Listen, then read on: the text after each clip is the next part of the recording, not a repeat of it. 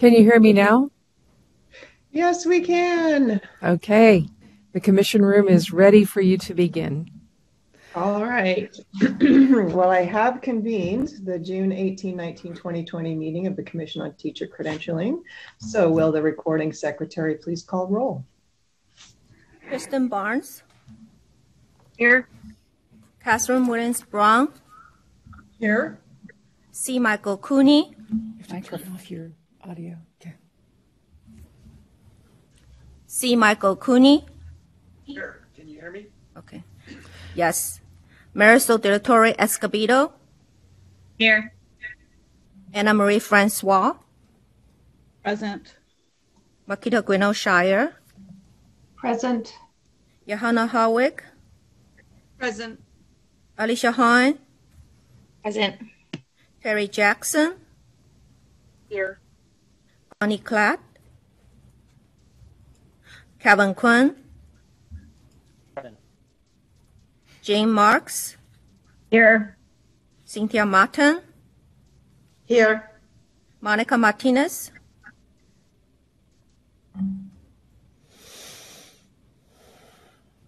Monica Martinez, Haydee Rodriguez, Here. David Simmons, Here. Tina Sloan, Here. Andrew Wall. Here. We have a quorum. Thank you. Executive Director Sandy, will you please lead us in the Pledge of Allegiance? Yes, Madam Chair. I'm going to switch my my video to a flag. Ready? Salute.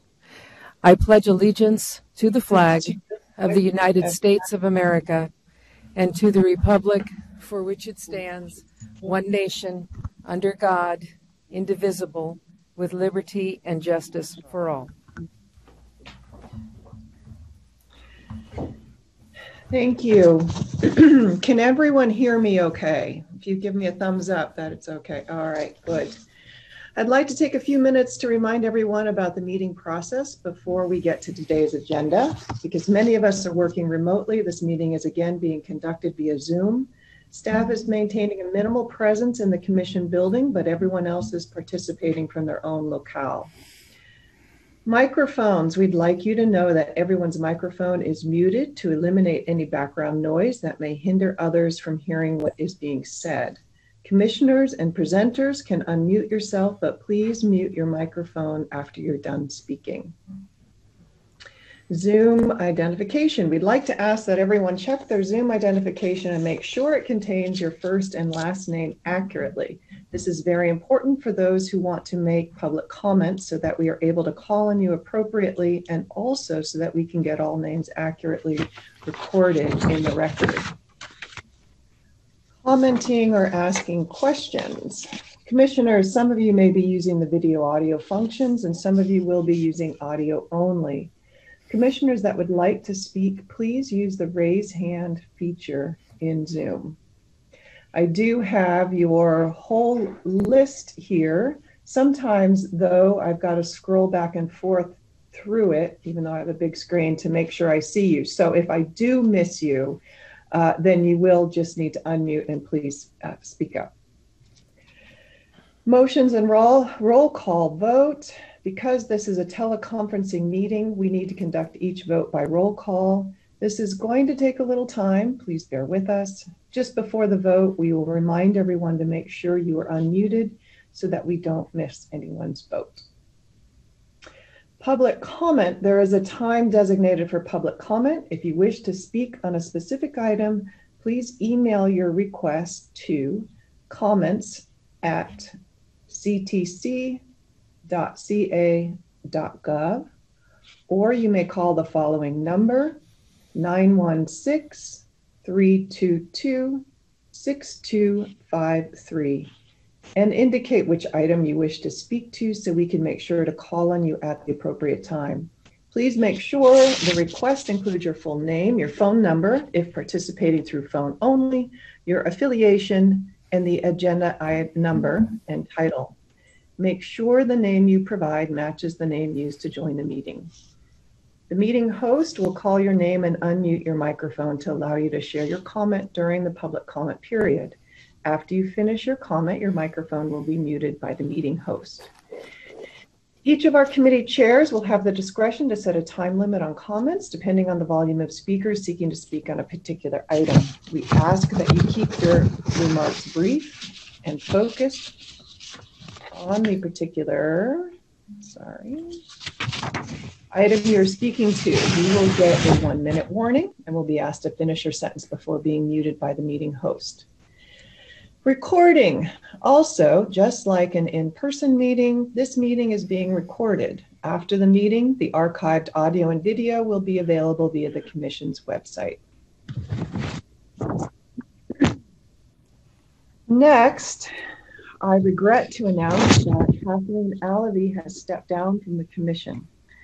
I'd like to share the following message uh, Executive Director Sandy and I received from Kathleen. The Commission on Teacher Credentialing is an outstanding collection of people doing valuable work for the betterment of our state, our teachers, and ultimately the children of California. I thank you for the opportunity to sit on this prestigious panel for the past two years. It has been an education for me, and I hope I have added a unique school district perspective during my tenure. My local situation has radically changed with the coronavirus restrictions. As president of my school board and with the looming issues facing my district, I feel that my focus needs to be here in my community. I will be dealing with many of the same problems you will, such as severe financial implications and the delivery of services as we return to a more normal schedule. I value the work the Commission does, but given the need to give my total effort to my district, I must redirect my time. Please extend my best wishes to the entire Commission as they continue to do the good work of preparing our future teachers for a monumental career. Half of the Commission, I'd like to thank Kathleen for her service and wish her well as she navigates the COVID 19 situation with her school district. Give her. Okay. That, uh, item 1A is the approval of the April 2020 minutes. We will need to make two separate motions to approve the ad hoc committee and regular session minutes. I'd like to remind everyone that only those who served on the each committee can make and second the motion to approve the committee minutes. Ad hoc committee members are Haydee Rodriguez, Marisol de la Torre Escobedo, and Monica Martinez. Do I have a motion from a member of the ad hoc committee to approve the April 2020 ad hoc committee minutes? So moved by. Thank you, Commissioner Rodriguez. Do I have a second? Second. Thank you, Commissioner De La Torre Escobedo. Discussion? All right.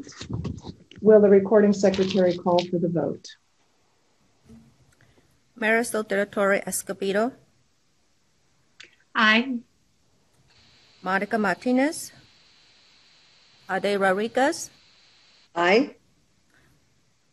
motion carries. All right. Next, do I have a motion to approve the April 2020 minutes? Uh, Commissioner Cooney? You are muted. Approve the minutes as presented. Thank you. Do I have a second? I'll second. Commissioner Barnes? Seconded by Commissioner Barnes. Discussion? All right. Will the recording secretary call for a vote? Kirsten Barnes, Aye. C. Michael Cooney, Aye. Marisol de la Torre Escobedo, Aye. Johanna Harwick, Aye. Alicia Hine, Aye. Terry Jackson,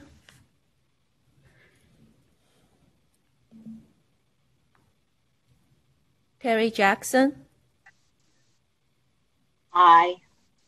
Calvin Quinn, Aye. Jane Marks, Aye.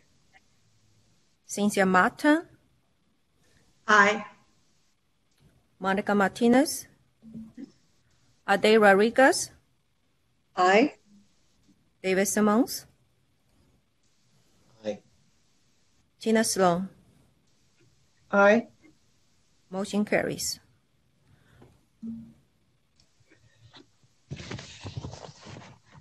The next item is 1B, approval of the June 2020 agenda. We have an agenda insert for item 6B. Item 2E will be presented tomorrow. Do I have a motion to approve the June 2020 agenda?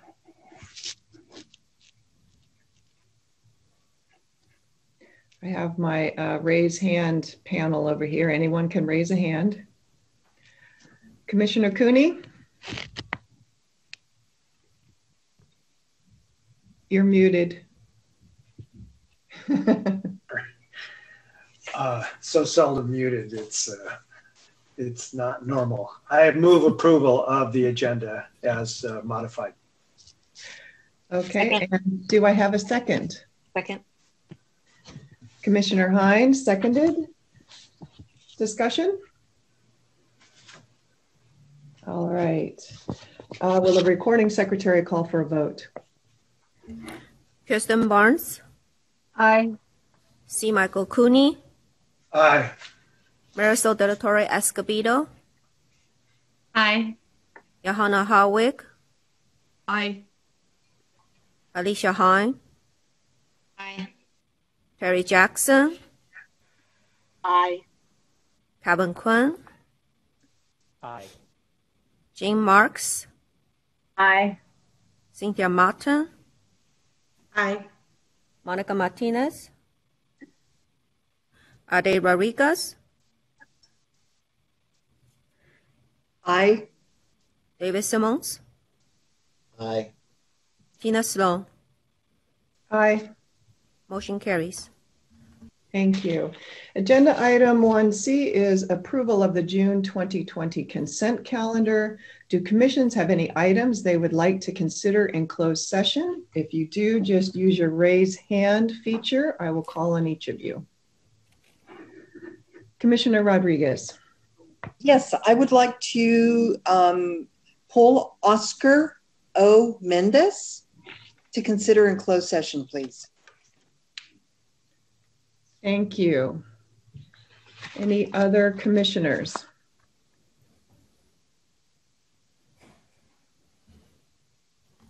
All right. Seeing none, do I have a motion to approve all remaining items on the consent calendar?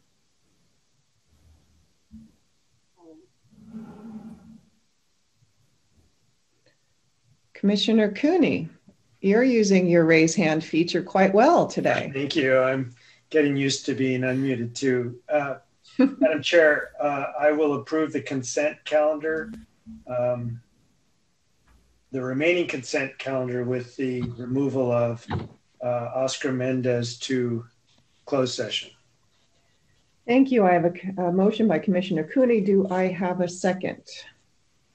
Commissioner Marks, I second. thank you. Will the recording secretary call for the vote? Kirsten Barnes, Aye.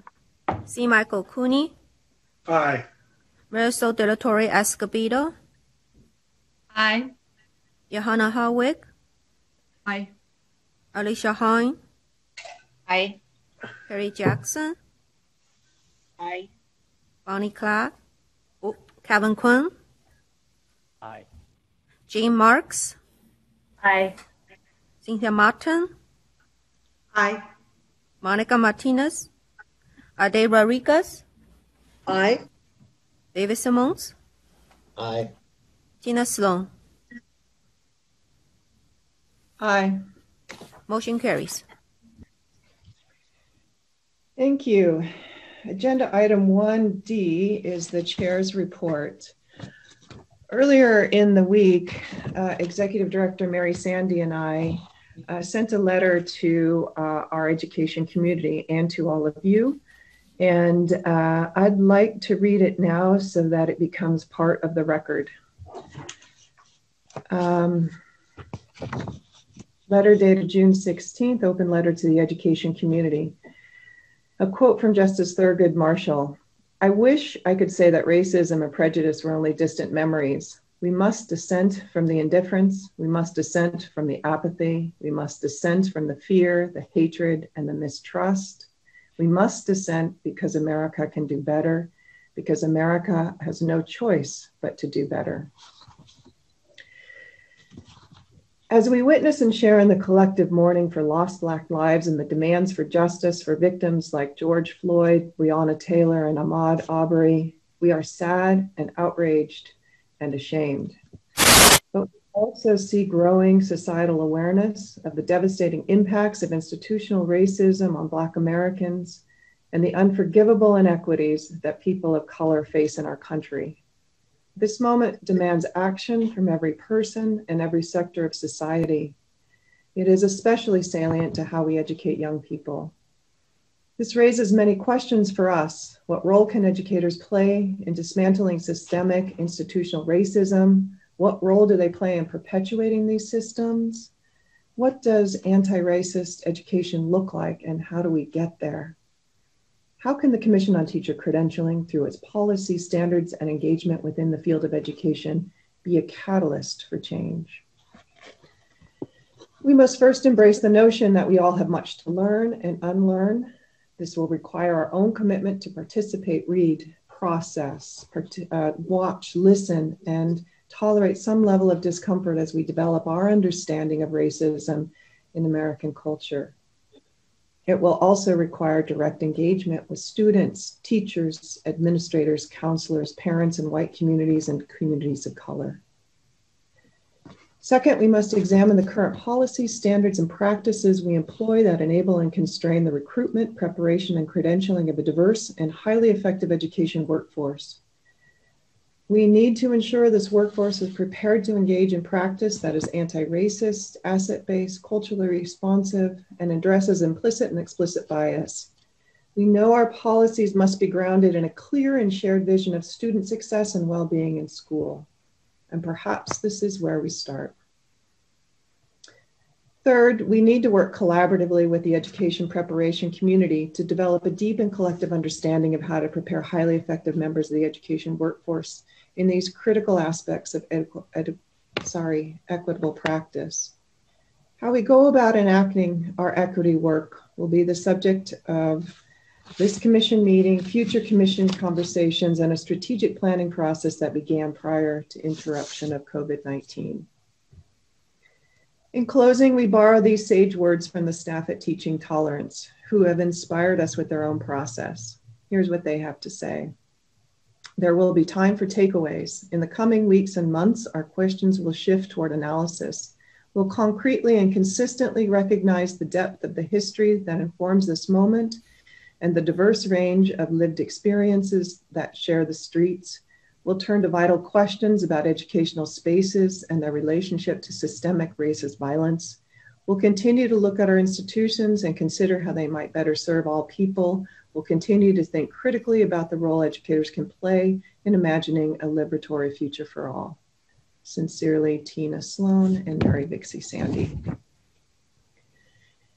This is a letter from Tina and Mary um, expressing our thoughts, our views, our hopes, but um, what we do in the commission is shaped by all of us. When I accepted your nomination and vote uh, to become chair of the commission, I did so because I was hopeful for the future of educating our children. Our economic outlook at the time was brightening for the first time in decades, and we had a good foundation of work to build on. We had new leaders entering office with tremendous expertise and commitment to children in school. Governor Gavin Newsom, Superintendent Tony Thurmond, State Board President Linda Darling Hammond, to name a few. They've all shown remarkable leadership during COVID 19 and during our national condemnation of police brutality and calls for racial justice and education justice. And now we're all engaging in that moment, and momentum is building all around us. sometimes I feel like we can only do so much at CTC to make schools a better place for children and families and educators because we only have purview over limited parts. But in this moment, we have partners from across our agencies and schools and stakeholders holders and programs all taking action in similar ways that considering for our work here. We have an opportunity more than ever to work across these sectors, hand in hand, to protest, to heal, and to do something that really does move the needle on equity. That really does make educational opportunity accessible for all students, that really does open the profession to people from all races and backgrounds. We here are a community of people, commissioners, staff, stakeholders, doing this work, informing our work. Commissioners, you're here because you each bring an expertise to this community that makes our collective decision making better. I was reflecting this morning on the term commissioner reports. It all sounds so very official. And whenever it was time for these reports, for all those years I sat at the table, I uh, rarely said anything because I didn't think I had any official commission business to report on. But I think commission reports should also be about informing each other about our professional spaces, what you're experiencing there, your thoughts about that, because that's why you're here. It informs the rest of us no matter how trivial you wonder it is. I've never heard a trivial word at this table. So from here on out, I hope that you will treat commissioner reports, agenda items, our future strategic planning sessions as a place to voice your thoughts, no matter how half baked. You've heard me, I'm always spouting half baked ideas, but they get better when I put them out there and you all help me shape them. I need you and our community more than ever to help me shape new ideas for racial and education justice. Thank you for giving me this time to speak to you all.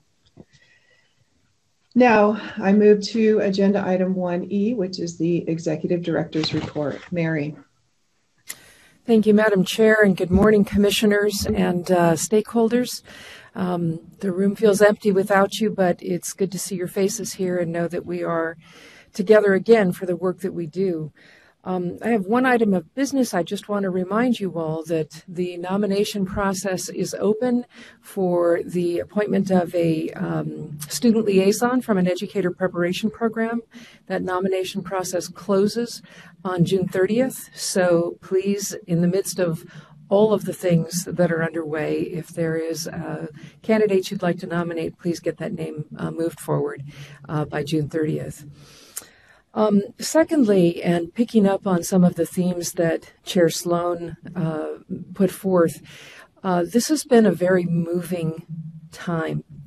Um, I think we're on day 93 of our shelter in place, teleworking from the agency.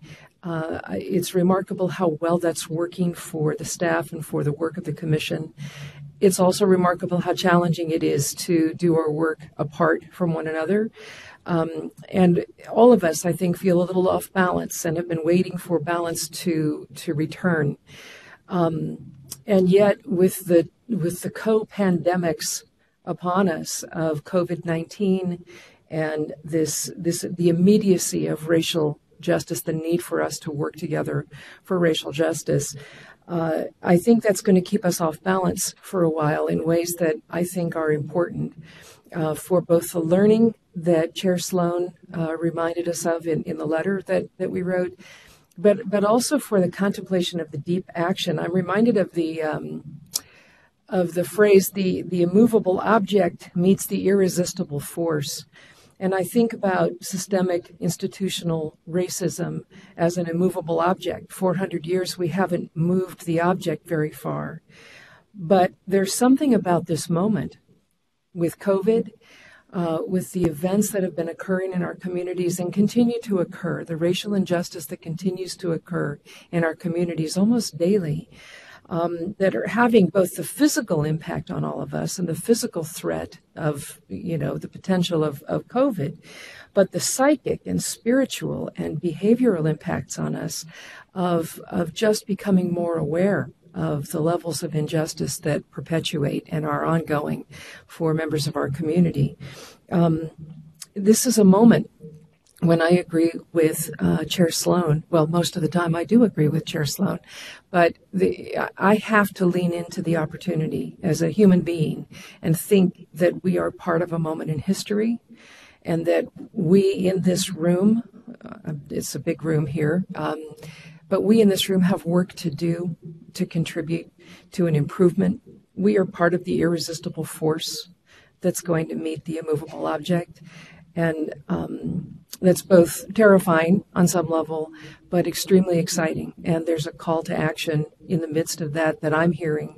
Um, and I'm really quite grateful to, to be at this table with this staff uh, and with you commissioners and with our stakeholders to, to figure out what our roles can be to, to move this object. So thank you, Madam Chair. Turn it back to you.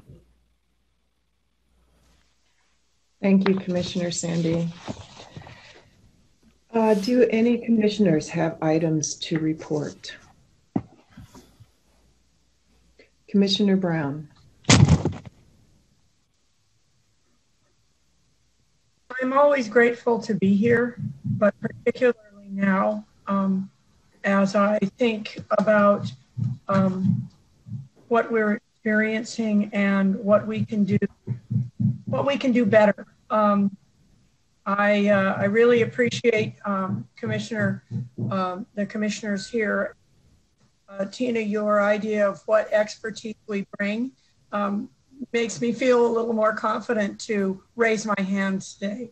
Um, briefly, I just wanted to let you know from the community colleges side, um, we are in we are heavily into in the midst of uh, trying to improve our system for students. Our focus is to be student ready. And what we're finding this year with what's been happening is it's particularly important um, that those of us who have uh, who address teacher preparation step into the lead on this for our institutions. Um, in early childhood, for instance, we really look at the whole child, not just at the knowledge base we want them to achieve. Um, and in this case, we're really looking at uh, the whole student. Uh, because of that, the conversations that are happening at the community colleges around what it really takes to, to teach a student, and that means you need to know them and bring them into the process um, in a new way. In addition, all the community colleges this summer have moved to fully online as they quickly had to move to remote teaching um, in the spring. And the plan is for to do the same in the fall. So for the community colleges, we are invested in intensive training um, for quality online teaching and learning, um, which is a really heavy lift when most of our community colleges um, have the majority of their courses and not just in education prep um, as being face to face. But our, our district, I just wanted to give you like a, a little piece. Our district has also has an incredible distance education um, team that's been working with our faculty for that heavy lift. And in doing that, has also reached out to the local county office of education and we've joined together um, to help offer some training for the TK-12s who will be going back to school, um, which is projected to be very diverse in terms of its application, as I'm sure we'll talk about um, today and tomorrow. Um, so I'm I'm both interested and excited um, about the item today about early childhood education, um, but I'm also really um, re-energized to do the work that we do um, for all of the children of California. So that's my that's my little report. Thank you. Other commissioners, Commissioner Marks. Good morning, everyone. So, um, when we began our lockdown and we began to go in our different corners of the world, um, my little corner of the world really, I think, did something quite innovative, and I would like to share it for a few moments. And then I'd like to close by sharing a poem my class and I composed as as we find the world erupting and we find a way on how to move through it and become finer human beings through it. Um, so I work at a public Waldorf school. There are three public Waldorf schools in the Sacramento region. Um, we have a very unique curriculum. We work with the children through many years. I've had the same children in my life for seven years. Um, so all three of these schools began to jo- join together into a collaborative community where we wanted to meet the needs of children and their families during this lockdown period.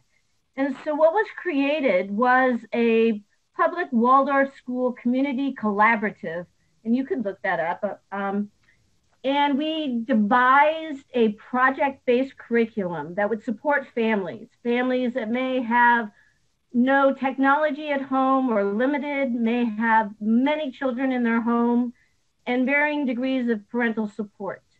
And this curriculum is project based. Each week is a new theme. Um, one week it could be arts of the world, another week it could be building a fort. But it takes the kindergarten through 12th grade world um, and it develops learning projects through the curriculum points. So we're talking language arts, math, writing, gardening, second language development, music, instruments, practical arts. And it works with that theme for the week. And it's just been such an inspiring um, journey to be on to see what families create together. It um, is inspiring to see what middle school children create together. I've had some amazing um, creative things brought into the world because of their efforts and their families' efforts. Um, so it and it mostly it took children away from the screen and put them in nature, which is, as we all know, a very healing place to to be. So as part of this project, my class and I got together and we talked about during this uncontrollable time, what can we do? Um, what can we hold on to and keep ourselves moving forward in a positive and meaningfully productive way? So we created the poem, No Matter What. No matter what, I will look for the positive in an otherwise negative time. No matter what, I will cherish the time with my family that I otherwise may not have. No matter what, I will find opportunities to serve others. No matter what, I will treasure my friends who inspire me. No matter what, I will miss my friends, and all who work with me, but they are with me. No matter what, I will mourn the loss of celebrating rites of passages together. No matter what, I will grieve with the world as we struggle to make it a better place for all. No matter what, I will long for the day when we can all share space safely together. No matter what, times are uncertain. No matter what, change is here.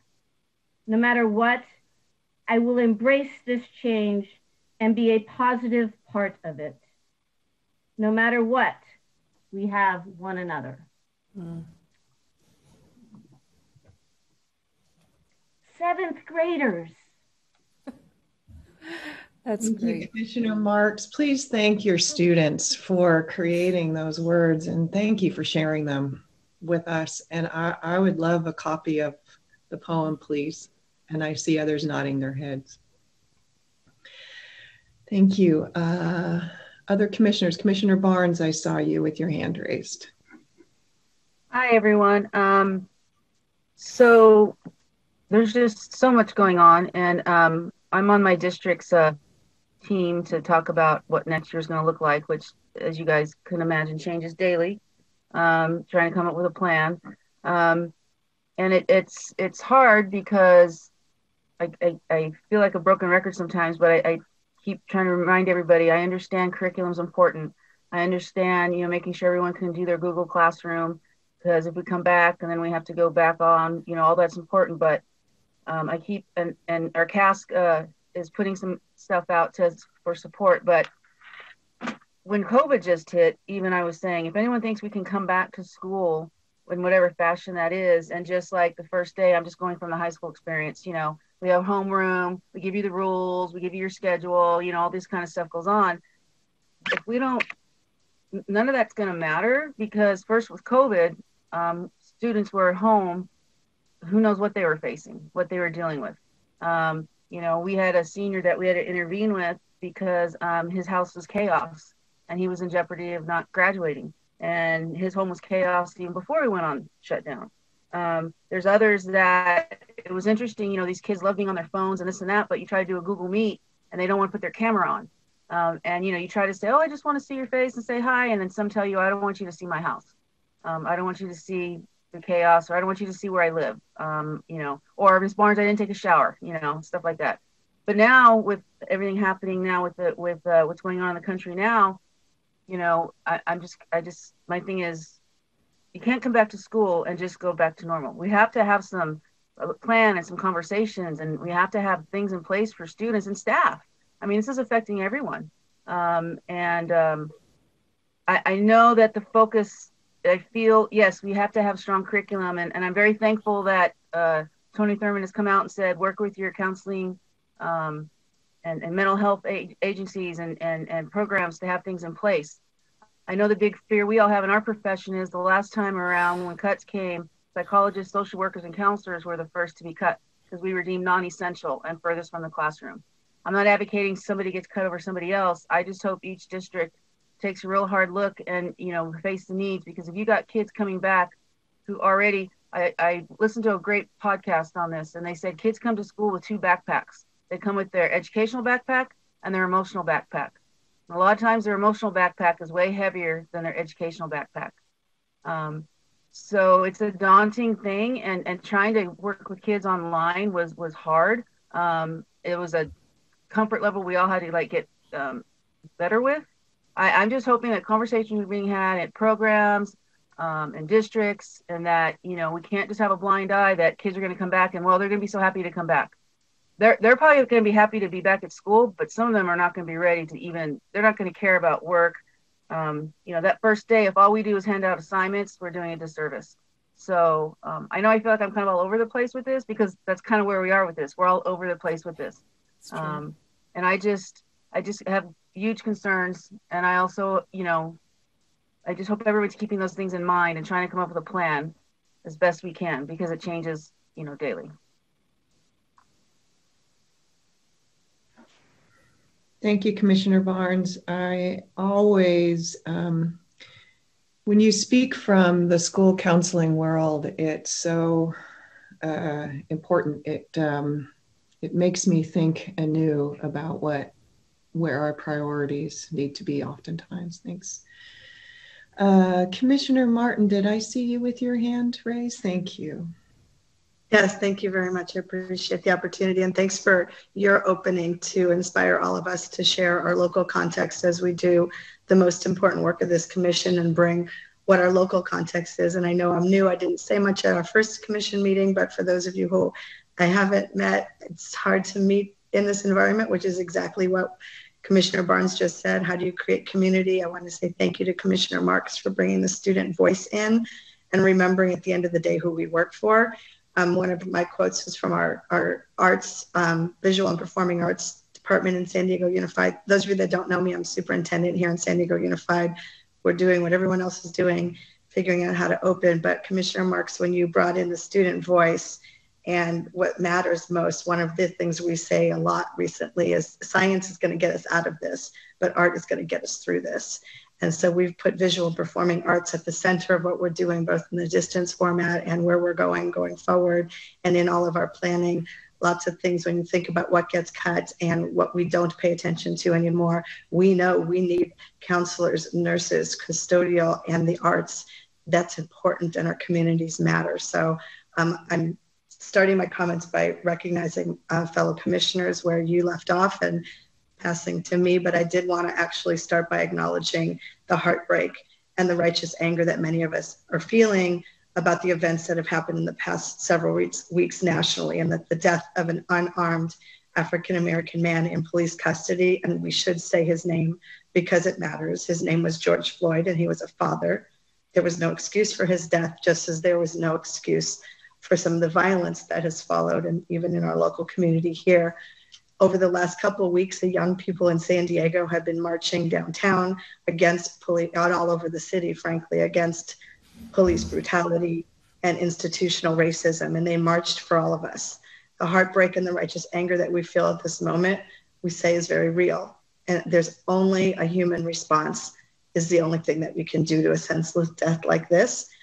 There's no excuse for the violent death. I want to bring in the voice of the superintendents across the country. This is a statement from all of the superintendents of the large urban districts across the nation through the Council of Great. This time, I'm not sure if you heard that. Is my audio still working? Yes. Uh, Commissioner Marten, could you start again just with the statement? I think we it cut out for just a sec. Okay. Okay. This is a statement from all the superintendents with the Council of Great City Schools. Um, uh, across the nation. It's all the large urban districts across the United States. This time it was George Floyd. Last time it was Ahmaud Arbery. Before that, Breonna Taylor and so many others. Different names, different cities, but in every case, the underlying racism and ugliness are the same and will remain the same without dramatic changes to our institutions that address the conditions that allowed this killing to happen. This time it was the police who were caught in the crosshairs of public attention. But that sickening cell phone footage only captured a small piece of a larger picture, a vignette in the ongoing story of injustice and racism that is our nation's history and our current reality. Mortality statistics under COVID 19 remind us that the same patterns of injustice and inequity extend to healthcare and housing and to us in education. As we rise to meet the challenges of the current health crisis, to teach children remotely, feed our families, provide internet access, address the mental health of our needs of our youth, and fight budget cuts, let us, the leaders of our nation's urban public schools, amplify our efforts to meet this challenge, to this enduring, defining challenge of our time. Let us ensure that our schools are safe havens where all children are respected and nurtured, where all children can achieve and grow, and where all children are guaranteed equity and justice. The nation's urban public schools offer our full throated condemnation of this killing and the racism behind it. And we vow to redouble our efforts to ensure racial, racial justice is at the center of everything we do. That's from the nation's public, large urban public school superintendents. Many of you know that I was also a second grade teacher. And one of the things that was most moving to me as I read about George Floyd's life was a statement from George Floyd's second grade teacher. Like her, she kept a sample of student writing of everything her students ever did. And I have a file folder for every student that I ever taught in my 17 years of teaching in the classroom. And George Floyd's second grade teacher held on to some of his writing from when he was in second grade. And it just moved me because I have a file folder. In fact, it's across the room. I meant to have it here so I could hold it up from a student. A reporter just interviewed me the other day, and I'm looking at him saying, I knew you. And he was one of my second grade students. So I pulled out his file and I'm about to mail it to him. So his teacher really, that she saved his writing. But what's even more impactful is George Floyd's second grade teacher, the piece of writing that she saved of his was his Black History Month assignment. The assignment that he did for Black History Month 38 years ago was um, to say what um, what does he dream of, and that was their assignment is what do you dream of someday, and it was maybe connected to I have a dream. I'm not sure what the exact assignment was, but in his assignment, the piece of paper that she saved of that is he dreamed of being a Supreme Court justice. That's what he did in his second grade assignment. He had the kind of big dreams that we encourage in all of our students. So I believe that we can build a world that protects the dreams of our young people and doesn't end them due to racism or institutional violence. I know that we can do better. I know that we must do better.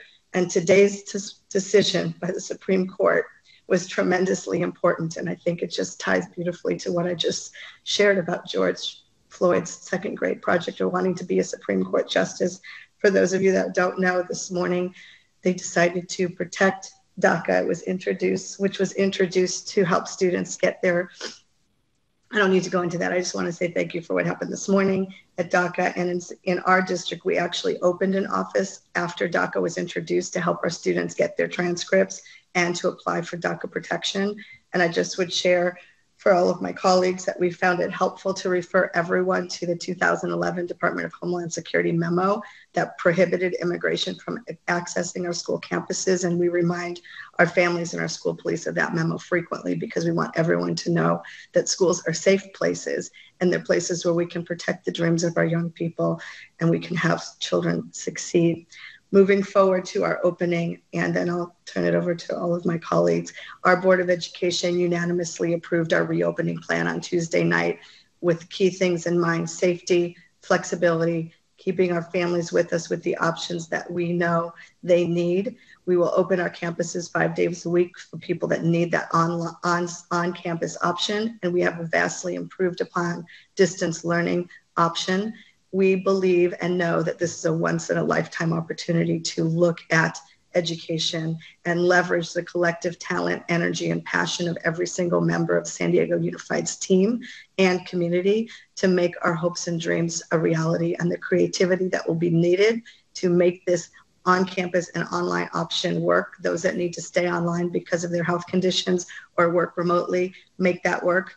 We will do that. We know that it means that we change our mindsets as we reimagine our new possibilities and new realities and new learning experiences for our students, for our staff, and for our families, and that this requires adaptive leadership. And um, we know that this is our job and we're up for the challenge. I just finished a call with 200 principals, San Diego Unified, because the board took action Tuesday night and we're getting to work to make it happen. I'll end with a quote from one of my favorite, all time favorite authors is a woman named Margaret Wheatley. She said, The future doesn't take form in, irrationally.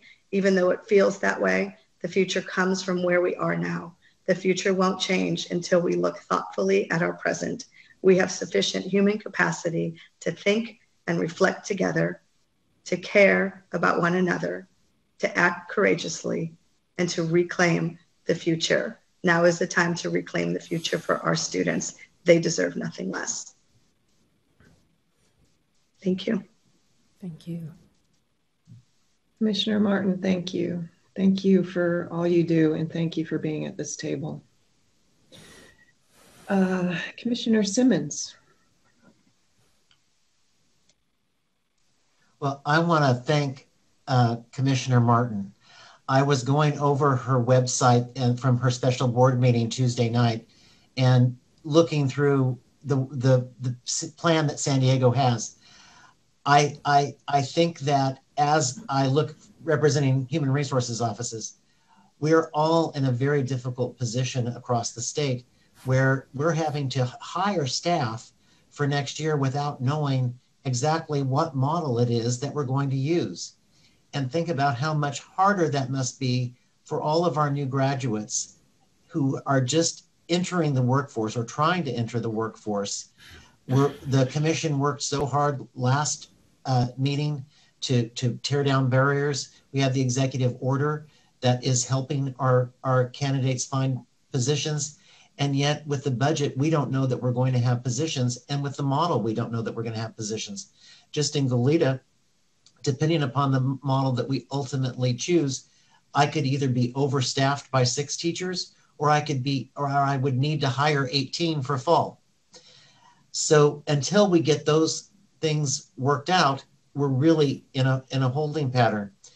I really appreciated San Diego's commitment to opening school five days a week for the families that need it. I uh, last night we had a board meeting where that we had um, 50 public comments, and in a small district, I, I have been in Goleta for four years. Over the entire four years, we haven't had 50 public comments, and it was all very consistent about how that we need to incorporate Black history into our curriculum. This is at the same time that some of the models we're looking at, if we go to like an AB model, we would have as little as 10 hours a week of instruction face to face.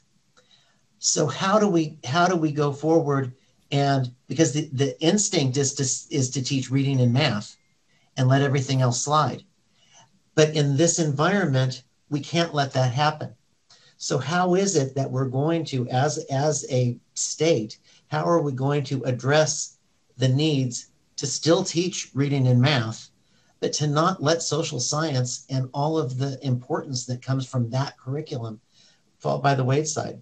So it's a um, it's a pickle, and uh, I really uh, and I would encourage anybody to look at uh, at uh, Commissioner Marten's uh, PowerPoint because I think that it was it was extremely well done.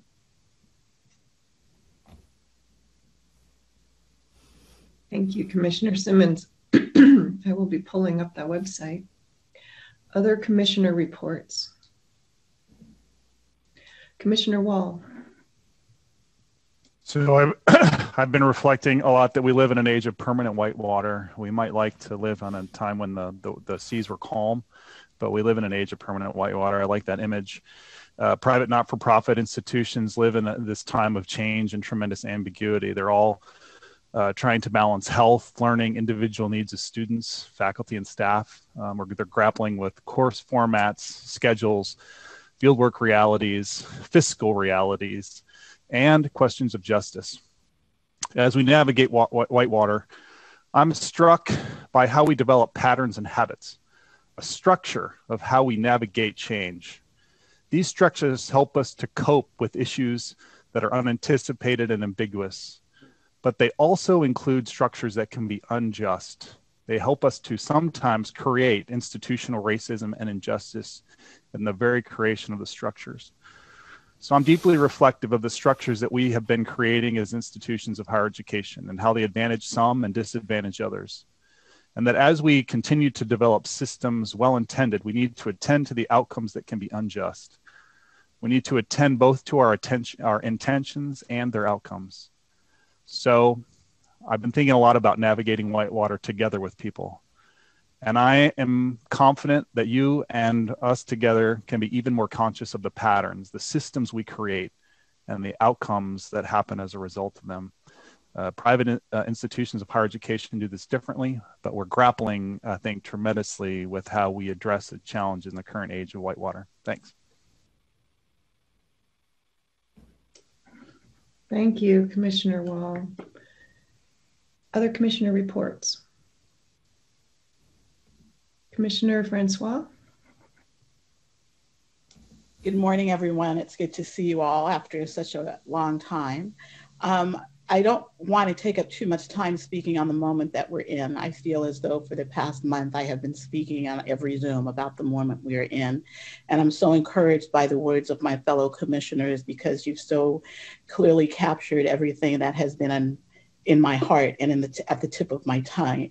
And I will say frankly that it feels good not to carry the emotional labor of that as a Black woman in this time. So thank you all for that.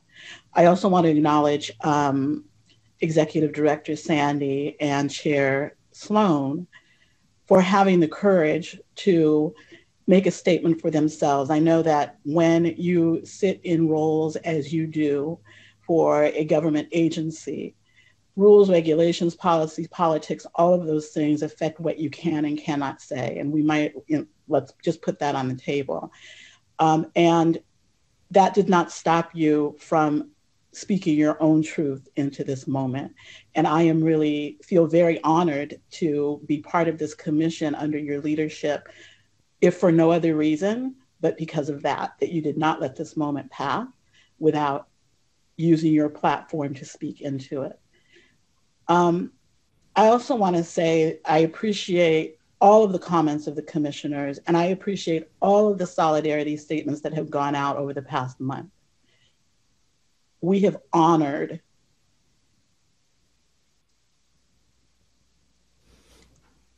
the most recent individuals who have died at the hands of racial injustice in this in, in, in this world actually by our solidarity statements and what solidarity statements do for me is an opportunity to reflect on our deepest beliefs and values to articulate them to center them to put them out on the table and to have them as a touchstone to where we're going to move on from them. And even as I appreciate solidarity statements, they are only as good as the action that takes place as a result of them. And as a commission, I hope that we not only as individuals, but as a collective, will take these statements seriously. Learn and unlearn is something that struck me in the statement from, um, from Tina and, and, and Mary we have so much to learn and we have to acknowledge that although we all come to this commission with deep histories experiences knowledge abilities and skills we have a lot to learn and there are individuals in our field who have done this work of anti-racism and justice for decades. And we need to hear their voices and i'm hoping that this moment helps us to hear them with open hearts and open ears with a mind towards learning but also unlearning.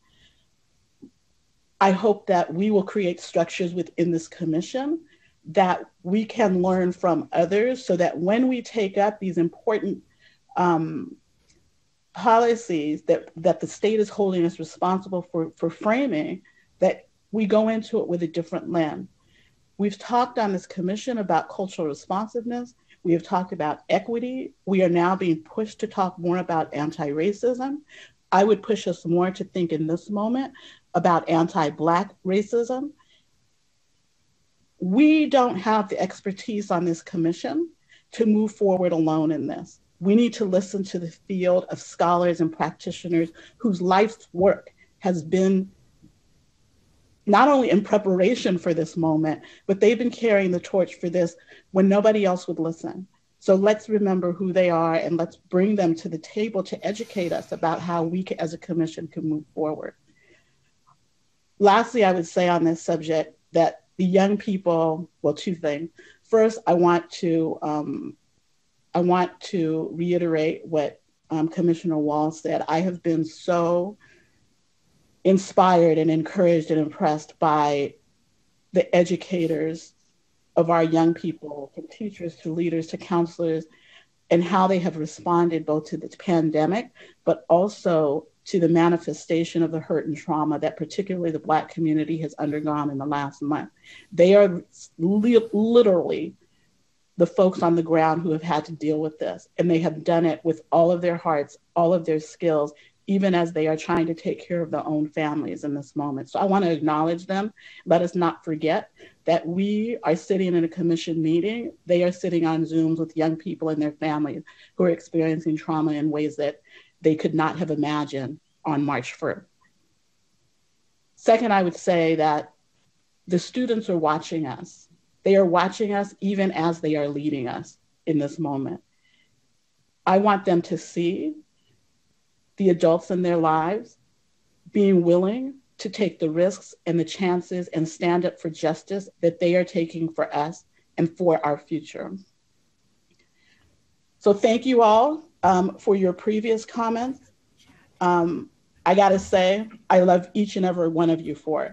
What you all, every every word that was spoken this morning was beautiful, and it gets it keeps me encouraged. As for a report, see how I can shift really quickly.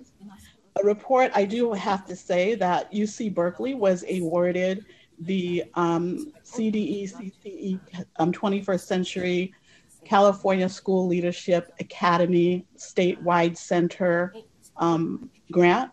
And what that means is that they will be working with several um, regional academies across the state on improving site level leadership as well as higher level leadership in schools with a focus on um, equity and instructional or uh, instructional leadership. Um, UCLA is partners in this work, and we are looking forward to really changing the way leaders are prepared, leaders are developed, and the work that they do on their school sites through this um, statewide work. It's going to be quite exciting. Thank you. Thank you, Commissioner Francois. Commissioner Grenot-Scheyer. Good morning, colleagues. It is um, very good to see all of you, and I hope you and your families are well. I want to share uh, some work and communication that's been happening in the CSU uh, Educator Preparation Leadership Group. Um, we believe that schools are the epicenter to dismantle racism and inequities If this is true, as we've been asking ourselves all, all morning, what is our role as educators? What do educator preparation programs need to include to ensure that future teachers, counselors, and leaders have the knowledge and skills to educate their students to ensure equity and excellence for all students? What mindset do we want our candidates to demonstrate when they leave our programs? What content and clinical experiences do our programs need to provide to prepare all of our students to become culturally responsive educators who can be agents of change that we so need at this time. The tragic death of Mr. George Floyd while being restrained by the Minneapolis police and numerous other Black men and women before him has shook our leadership team to their core. Our hearts are broken for the Floyd family and other Black families who continue to face systemic racism, injustice, and hostility in schools, workplaces, and in our communities we resolve to continue our work at the system level to support the development of programs to recruit, prepare, and retain teachers of color with a specific focus on African American men. To this end, this summer we're hosting a series of webinars focusing on equity, inclusion, social justice, and historic injustices directed at people of color. This series will feature speakers who recognize the historical and systemic disparities and opportunities and outcomes in our schools and communities. And these faculty will share the resources necessary to address these disparities and ultimately dismantle the systemic barriers. This series will lift up the good work of our campus faculty and students who are engaged in work to ensure culturally responsive educators for our students, schools, and communities. We're in the process of reaching out to our faculty right now. We have four dates and four proposed topics that I will send to commissioners. Um, these, uh, this webinar series will be open to all colleagues, and I hope you will join us. The other update is um, that the CSU was awarded um, 3 million from um, uh, the state legislature to establish the Center to Close Achievement Gaps uh, we are working very closely right now with the assembly member who um, helped to secure these funds to change the title of the center. Um, our faculty um, have developed some very compelling rationale for why we need to refocus the attention on our students um, and take move away from that defi- deficit perspective that that center seems to connote. But to that end, I want to just give you that update. The center will be located at Cal State Long Beach and will be a system-wide center. Will serve as um, a center to disseminate resources to our K-12 partners and our higher ed partners. And as the center grows, I will share that information with you. Thank you. Thank you, Commissioner Grenot-Scheyer. Other commissioners? Uh, Commissioner Rodriguez. Thank you. Good morning, everyone. I'm a little reluctant to unmute because there's a lot of noise happening and the dogs are going nuts. So hopefully they'll, during this time, they'll be able to uh, keep keep it down.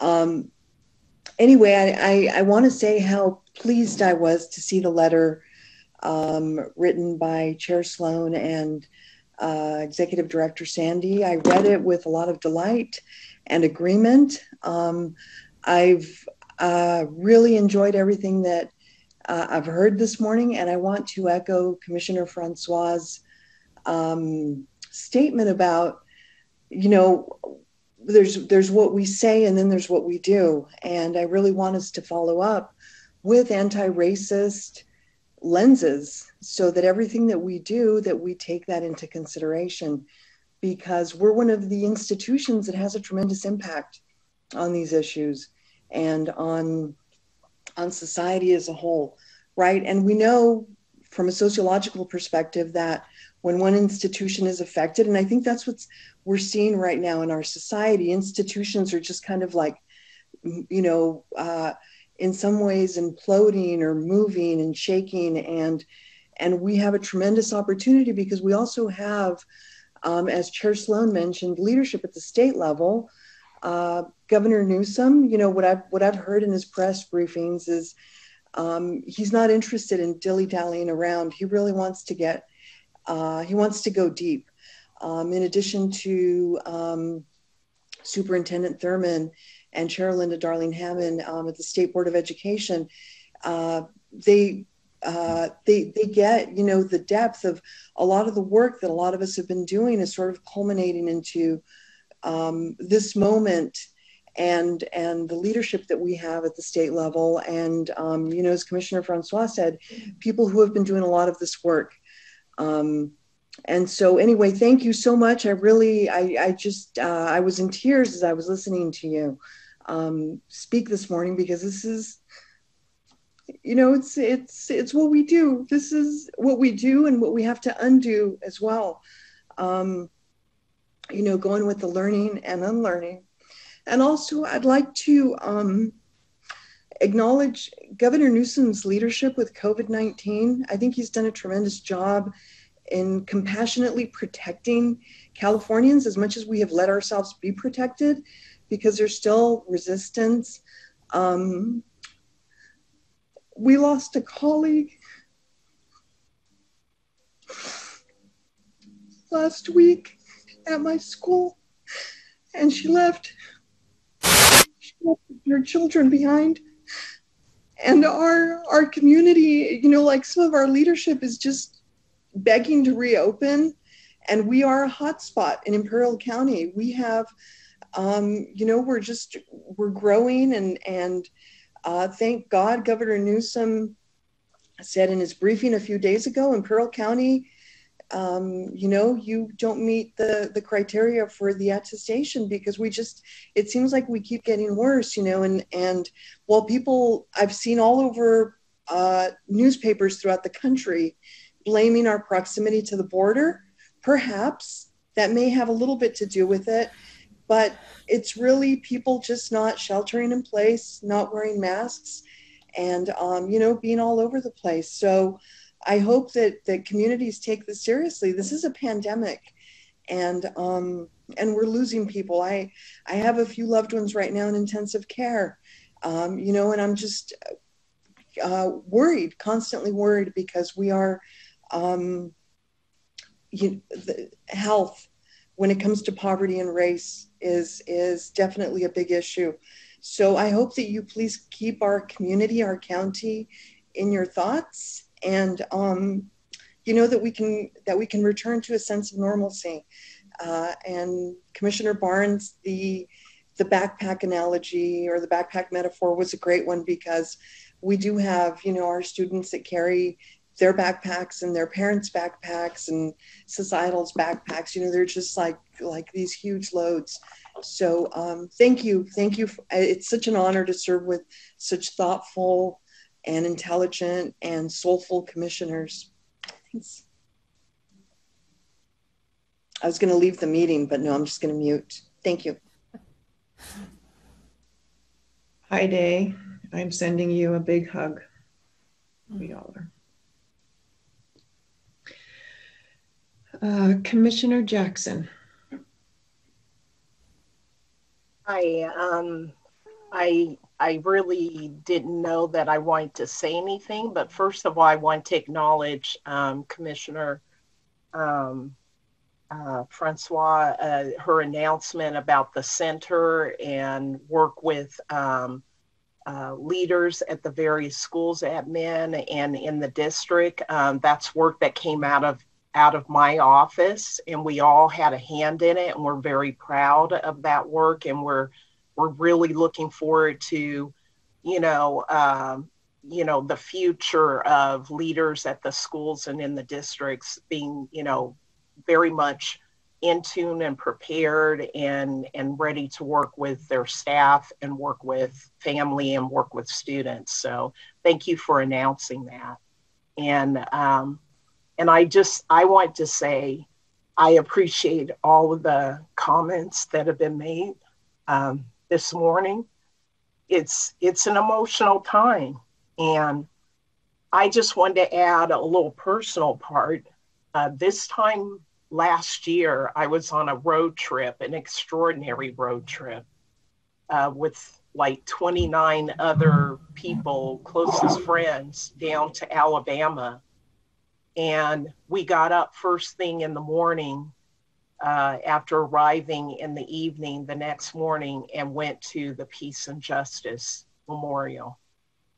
And I, I just, you know, I'm just going to say it. I lost it. I was by myself. We all kind of spread out and I lost it approaching those those columns just hanging row after row after row um, and just somehow knowing that everyone thinks that's just the distant past that lynchings are a distant past but they're not they're we've seen that evidence so clearly in our country that it is not a past situation, that it's very much with us.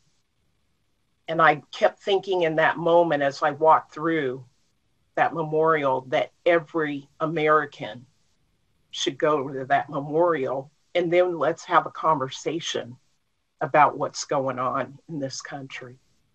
And I just wanted to share that because it's it's been like a year ago and I had, you know, who could foresee that it would be it would be here and now that we're having to have these discussions, these protests, the the anger, the hurt, the trauma. And all I could think about was I started almost a year ago in the Department of Ed, but I spent 34 years in the classroom, and all I can think about these days are my students that I've had and and and what they must be going through and what they must be thinking, what their families must be going through now. And so I too appreciate all of you and and let's turn words into action. I think it's important.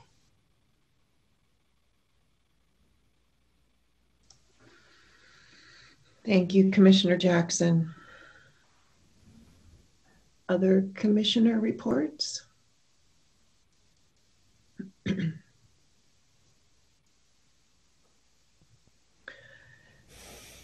Okay. Uh, agenda item 1G Do any liaisons have items to report?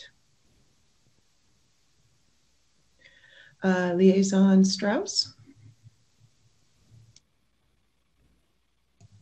Well, good morning, everybody. And um, I'm, I'm really honored to be here with you and representing the State Board of Education. Um, things have changed so much. Um, even since our last remote meeting, um, our state board met remotely in May and will meet remotely again in July. And um, there's been so much that's happened. So I just feel like I want to make some some comments. Um, we've had a bunch of state leader meetings, and comments have been if we think about January, how hard it was to be a kid in January, and to realize now how much harder it is based on what's happened. Um, what we know is that everybody's tired. It's been really hard for kids, it's been really hard for parents, teachers I know pers- are exhausted. Leaders are not getting much sleep, um, and everybody is trying their hardest to do their best. But I think um, what we realize is we're not going back. We have to go forward. And we not only have to take the issues of the pandemic and safe and trusting and distance and blended learning, but we have to take the racial injustices and we have to really rethink how we um, go about creating safe, equitable learning opportunities for every one of our kids. Um, we've also seen during this pandemic um, huge gaps and inequities for all kinds of different special needs students, students that do not have um, access to internet, do not have um, digital devices. There's four kids trying to share one computer. So there's been a huge amount of challenges and a thanks to leaders like Cindy Marten and others in our state who have really stood up and really taken on the challenge of of all that we've learned. And that, as you know, Linda Darling Hammond has played an important role at the state board level and working collaboratively with the governor's office and with Tony Thurmond and CDE. Um, the state board also is limited in the areas that they have authority, just like the credentialing commission is limited in the areas that you have authority. And so some of the things that have happened have happened from governor executive orders and also with the legislature. Um, but I do feel like I want to bring you up to date on some things that we are talking about, particularly that might be helpful um, going forward. Um, or not, but at least uh, from the role and responsibility of the state board. Um, first, you obviously know that um, since we haven't been in session, there was a waiver granted by the federal government that we took advantage of, um, and there is no assessments for this spring. And because there's no assessments, there won't be a dashboard this fall. We will report um, assessments at, the, at, least at this point in 21. So it'll be from 19 to 21. Um, currently, that discussion of what the dashboard and uh, assess um, and will look like is actually going on in the legislature right now. So there'll be an update when they um, complete that conversation. Um, but that's made an interesting impact for districts who've been doing all kinds of things, distance learning, meal, um, distance um, meal supplies and childcare. And so the districts were challenged with just a short one page L, LCAP, local control accountability plan, just to deal with that. Um, there'll be an update once we know the budget because we don't know the budget yet and we're keeping our fingers crossed. It's a lot better than we've been told. Um, and then um, in the spring of 21, there'll be a new three, uh, three-year LCAP that districts will, although we all know that 2021 is not going to be a normal school year at all. Um, and I think uh, we have to really think differently about what we're doing, as we've all talked about. Um, for those of you in um, teacher and leader education. Just so you know, we have a new visual and performing arts approved framework coming to the state board in July. So Cindy and her team can be embracing that along with, I know my sister who's a music teacher is very excited for the new um, standards but i think i think uh, cindy made a really good point that we need to think about integrating content not just dealing with math and and literacy, but, and I, I know I speak for science leaders saying too, we want to make sure that project-based learning is incorporated. We also have a world language framework that's been gone through all the vetting process. That's also coming to the state board in July for approval, so be aware of that.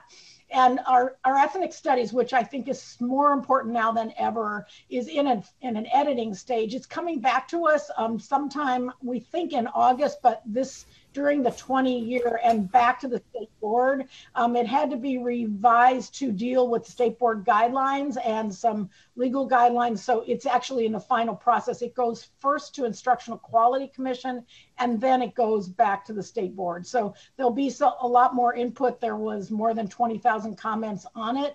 Um, and there's a quite a bit of interest and now more than ever, I think will provide a good guidance document um, to for districts. Um, and just a, a, couple other things. Um, we are we've been talking about a growth measure and how to look at students' predictable growth. We're one of only a couple of states in the country that hadn't adopted one, and we've had quite a bit of interest by our stakeholders that we use that. So in July at our state board meeting, we will be talking about that. Um, so if you have particular interest, um, that input would be helpful.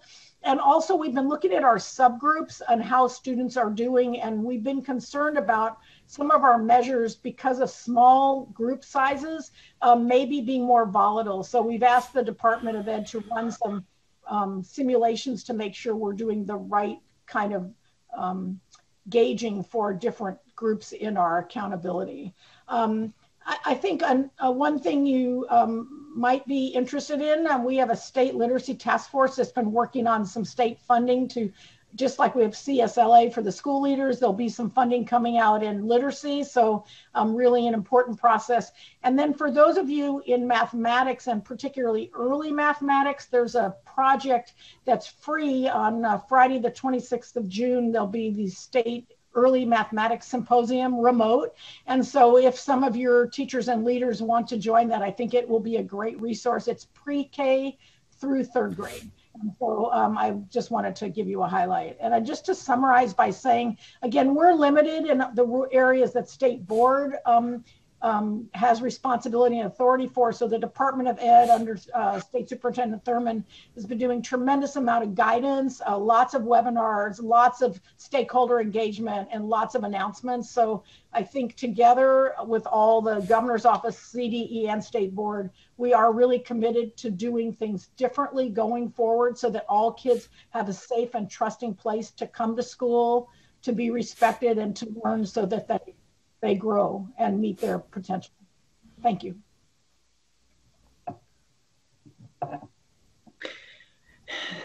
Thank you, uh, Liaison Straus. Are there any other commissioner reports? Liaison reports? Uh, Commissioner Rodriguez? Yes, thank you. Um, so on May 7th, we had a committee on accreditation meeting and you can probably hear all the noise in the background and the dogs starting, uh, but I will keep this short. Um, so there were a few uh, accreditation reports. We had a uh, a vote for to for the chair and co-chair. So um, they voted to retain Robert Freely and Anna Moore co-chair, uh, discussing the important work that they're doing uh, we met electronically, as um, you can imagine, and uh, the COA will be meeting again next week. So um, there will be another meeting at that point. And there is some uh, other work that's going on, but it was um, mostly information items, and uh, we'll see the work in that respect when it comes to us for a vote. So, thank you. Thank you, Commissioner Rodriguez. Any other liaison reports? Seeing none. Commissioners, before we move to agenda item 1H, I uh, want to just say that uh, I know we have only been at this for an hour and 25 minutes, but um, my emotional backpack is particularly full at the moment, and I think we maybe need a 10 minute break as we transition into our work, if that's okay with you. So if we could please come back again at 1035. And meanwhile, um, I'm sending you all a big hug, and I sure wish I could do that in person, and I can't wait until I do it again. I'll, I'll see you in 10 minutes. Okay, welcome back, commissioners. Thank you. Thank you for all of your comments this morning. Thank you for uh, a moment to stretch. Now we are transitioning into all of our work and the actions that we will be taking. Uh, okay, next uh, agenda item 1H is update on actions addressing the COVID 19 crisis, considerations for 2020 21 and possible additional actions for commission consideration. This item will be presented by Terry Clark, Erin Skubal, and Amy Reising. Ms. Skubal, will you please begin? Thank you. Good morning, commissioners. Agenda item 1H serves two purposes. First, it will summarize the many actions related to teacher preparation. Oh, can you all hear me? Okay, I'm going to get really close to the mic. All right. I'm going to start at the beginning. Agenda item 1H serves two purposes. First, it will summarize the many actions related to teacher preparation and licensure that have been taken by you all at the Commission, the Governor, and the Legislature to reduce the hardships faced by current and prospective educators related to COVID 19. Terry, Amy, and I will briefly cover the work that each of our divisions has been doing to assist the field and the public with navigating the flexibilities that now exist. Then Terry's going to talk a little more about what the future may hold and what actions you all may wish to consider as we move forward in our new normal. So let me begin by first acknowledging the amount of hard work and dedication that both my staff in the certification division and the staff of PSD and the performance assessment team have shown. Over the past four months, we have produced several pages of FAQs and guidance documents for educators and employers to assist in navigating the flexibilities approved by you all at the April Commission meeting and the more recent flexibilities offered through executive order. My team in certification has been providing expanded live chat hours for the field and educators to connect with credential analysts and answer their certification questions. The team was also able to immediately add new database elements to the Commission's credentialing system to ensure that staff can track the number of CBEST deferral requests, extensions, and program sponsor variable term waivers that we received related to COVID 19. Our assignment team has been hard at work as well, providing outreach and guidance to the field as schools begin the process of preparing and hiring for the upcoming school year. Assignment staff has developed guidance that highlights several options that LEAs can use for flexibility in assignments, including local assignment options and short-term waivers controlled at the local level. The guidance also provides clarification on various models for distance and online learning and the certification requirements when students are being taught remotely by a live instructor or when instruction is software based only. The team also recorded a training webinar that addresses options for assigning teachers during COVID 19 and will continue to provide outreach and training as the school year progresses. As well, in April through mid May, staff in PSD and certification worked closely together to perform several webinars for commission approved programs and employers. These webinars were held focusing on groups of programs, so specifically preliminary teaching, teacher induction, administrator induction, specialized services programs, and webinars for the field.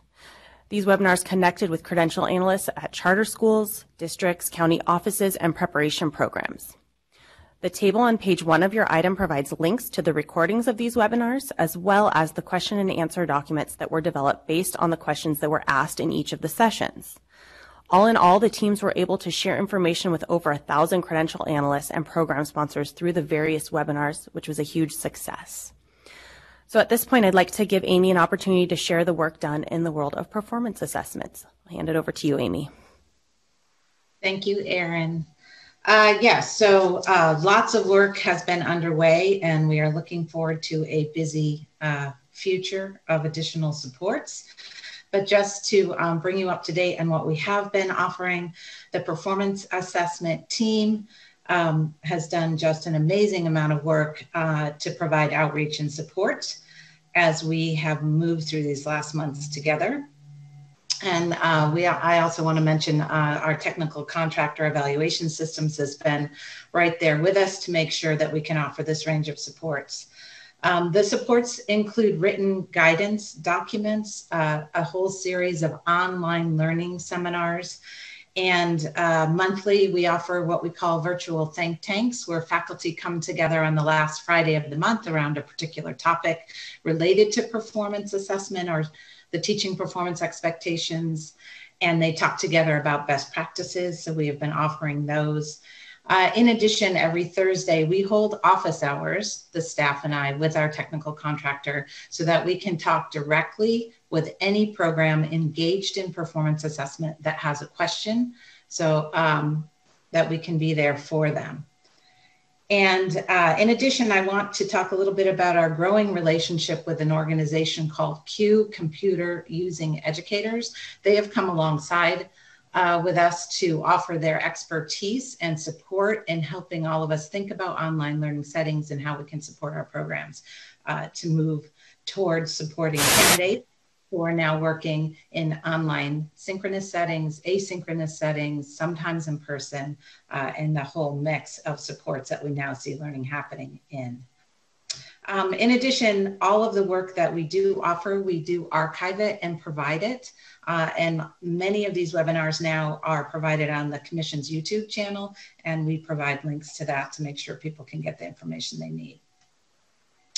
Um, in addition to this work, I just want to uh, talk for a minute about work going forward. We will be uh, offering a lot of support to our induction programs around performance assessments and the expectations because they will be receiving uh, approximately 7,000 or so candidates moving from our preliminary programs into the their employment and therefore into induction programs, and they will need to complete a performance assessment.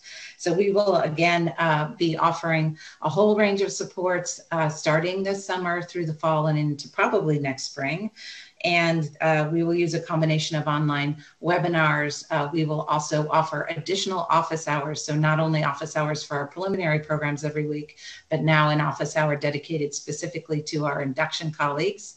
And we have also decided to offer an hour of weekly support to candidates. So no matter where they are, if they have a question, they can get to us directly. Um, we were able this past year to develop program assessment guides that really lay out the foundation and the theory of action behind our performance assessments. And we have those guides available now, and we think that they will be helpful. Um, a final uh, point that I want to share with you is that uh, in July, um, we were going to hold, uh, last year we had our first uh, in person implementation conferences where we brought faculty together to talk about best practices, both for the administrator assessment and for the performance, teacher performance assessment.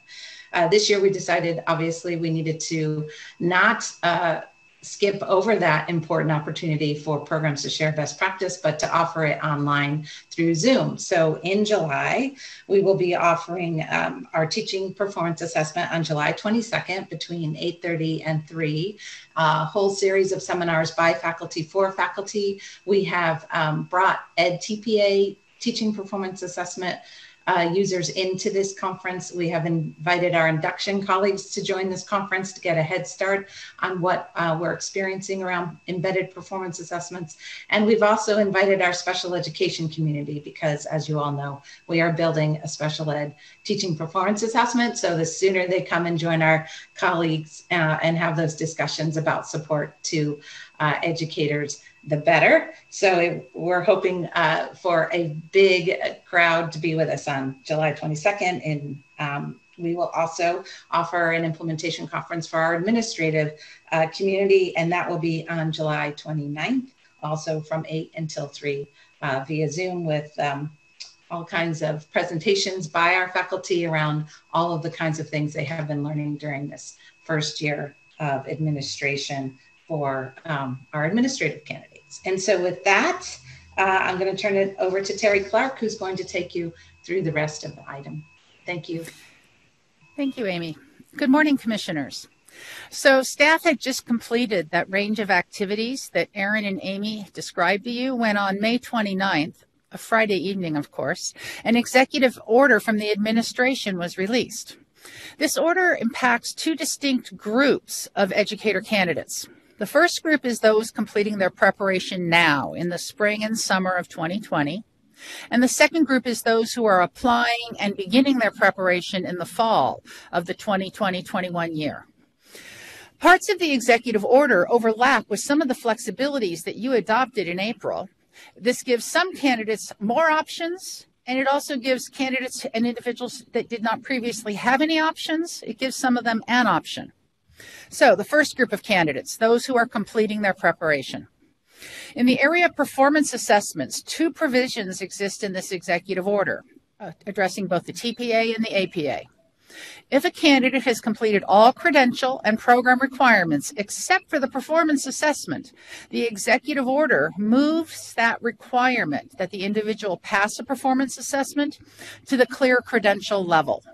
The candidate will be recommended by their preliminary program for the preliminary credential, and the preliminary credential will have either a TPA or an APA renewal code identified with it. The executive order identifies criteria that each candidate must meet to be eligible for this postponement of the performance assessment.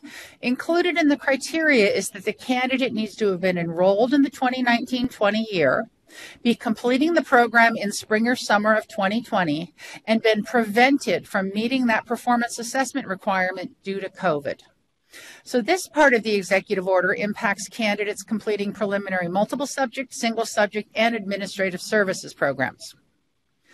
A third provision of the executive order also impacts program completers. This is completers of multiple subject and education specialist programs.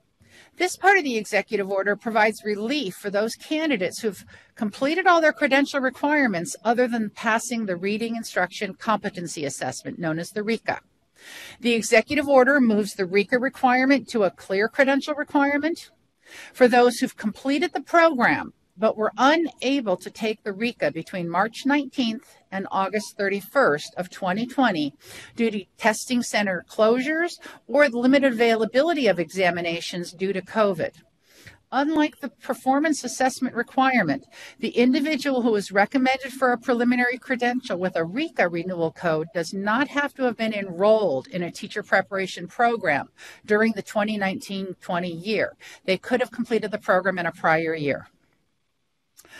With the flexibilities that you adopted in April, namely the program sponsor variable term waiver and the options for program completers in the executive order, staff developed some flowcharts, one for teacher preparation, one for administrative preparation, to help the preliminary programs and the credential analyst determine which credential or the waiver is appropriate to be recommended for each candidate.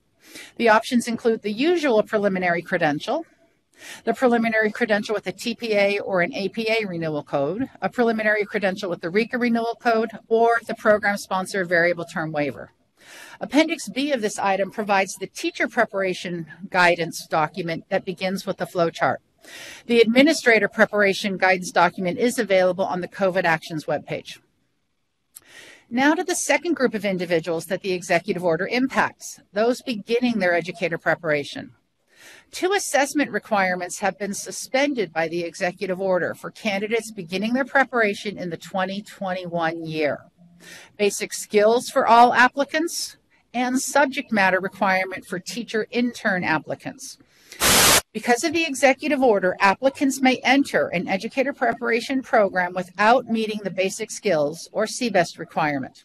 The requirement must be met prior to recommendation for the preliminary credential, though. The Education Code requires that teacher intern candidates must meet the subject matter requirement, most often met by passing the appropriate CSET exams or completing a commission approved subject matter program, before the candidate is eligible to be recommended for an intern credential. Because of COVID and the testing center closures, the executive order suspends this requirement. Individuals may be recommended for an intern credential, including those individuals who've held STIPs and or PIPs, the subject matter requirement does still need to be met prior to recommendation for the preliminary credential. So once the executive order was posted, staff posted additional guidance and held additional webinars with programs and employers to explain the additional flexibilities. Page six of your item provides links to those webinar archives and the actual guidance documents. In addition to the executive order, there are a few additional flexibilities that are included in the budget trailer bill language. Annually, the state develops, the legislature passes, and the governor signs a state budget. There are some bills called trailer bills that provide additional guidance related to that year's funding. And there are two items in the trailer bill language that are of interest to the educator preparation community. When the governor signs the state budget, the trailer bill language becomes effective. The first item is the extension by one year of the time that an examination score is valid for use towards a California credential. Title V regulations specify that all examinations, other than CBEST, which never, the passing score there never expires, but for all other examinations, there is a 10 year period when the passing score is valid. And after that 10 year period, the passing score expires. If an examination score has not been used towards a credential within the 10 years, that passing score will have expired and would not be able to be used. So the trailer bill language is, includes a provision that the validity period for the use of all examination scores is 11 years from March 19th of 2020 through June 30th of 2021. This should mean that no candidate who is moving towards becoming a licensed educator has a score um, expired due to COVID. The second area in the trailer bill is the area of pupil personnel services programs. The clinical practice requirements have some very specific requirements that each candidate has to meet. They must have at least 100 hours of clinical practice in a minimum of two different grade level bands elementary school, middle school, high school. Pupil Personnel Program shared that documenting that each candidate has completed at least 100 hours in two of these grade bands has been challenging when the schools had to so quickly pivot to distance learning in the spring of this year, and that there are many uncertainties for the 2021 year. So the trailer bill language removes the requirement for multiple placements and the 100 hour minimum for the placements for this year's completers and next year's completers. This provision will go through June of 2021. The programs, of course, are still required to ensure that their candidates are prepared for the full range of services that the completer will be performing. After all the things that are in place now, we need to start to think about the 2021 year in educator preparation. A lot is unknown at this time, and the expectation is that the year will be different in different geographic regions of the state, in specific schools and specific districts. The preparation programs are working with the local education agencies in their areas to begin to understand how school will open in this fall. The April Commission meeting, staff developed that list of flexibility options for your consideration based on the knowledge of the program standards, the credential requirements, and the questions we've been receiving from programs and from employers. The Commission acted to approve a suite of flexibility options, shown in Appendix A of this item. It's not clear, though, that those same flexibilities will be appropriate for the 2020 21 year. Candidates who completed preparation in spring or summer of 2020 completed over half of their preparation. And for multi-year programs such as counseling or school psychology, they completed the vast majority of their preparation as the program was designed and approved, with clinical experiences in the public schools as we have known public schools to be prior to March of 2020. This fact really allowed the staff to recommend and the commission to approve that range of flexibilities. But it's not clear that for candidates beginning their preparation in fall of 2020, how much of their preparation and their clinical experiences will be possible to be delivered as the program was initially designed. So, to gather information on what might be appropriate flexibilities and possibly some appropriate specificities for the 2021 educator preparation world, staff is working to include a wide range of stakeholders. Based on information that we gather, staff will prepare an agenda item for the August commission meeting. One of the groups has already begun meeting, and they're identified on page seven of your item. These individuals have identified and agreed to serve as liaisons to their segment, the representatives for the California State University, the University of California, the private colleges and universities, and district intern programs. They're collecting information from programs in their segment. They're also going to be sharing information. This group is meeting on a weekly basis, working on a survey to gather information from programs and what might be helpful and useful. Another area where it's clear that additional supports and guidance will be necessary is in the area of induction. Both teacher and administrator induction. Preliminary teacher preparation programs and administrative services programs each have a standard that specifies what a program must do related to a performance assessment. Program Standard 5 for teachers, and Program Standard 8 for administrators. But with the inclusion of approximately 7,000 new teachers and administrators in induction who will still need to complete and pass a performance assessment, staff from both the Performance Assessment Development Division and the Professional Services Division are working to understand, organize, and provide the necessary supports to induction programs. Staff will be contacting leaders from these two types of programs to meet to be, discuss the inclusion and induction of these educators who still need to pass a performance assessment. On page nine of the item, you see an initial analysis of the teacher preparation program standard related to the TPA. Parallel work will take place with the administrator world, and discussions will take place to really gather information from the programs. In addition, for multiple subject and education specialist teachers, many of them will begin their induction program and still have a RICA requirement to meet. Induction programs have not previously taught or supported candidates to prepare for and pass the RICA. So the group of program leaders will discuss both performance assessment and the RICA. They're going to advise staff on supports the programs will need to effectively support new educators. A report from this work will also be included at the August meeting. In addition to these identified groups, staff will continue to reach out to employers, bargaining associations, other education groups, and education leaders to gather information about the 2020-21 year and the implications for educator preparation.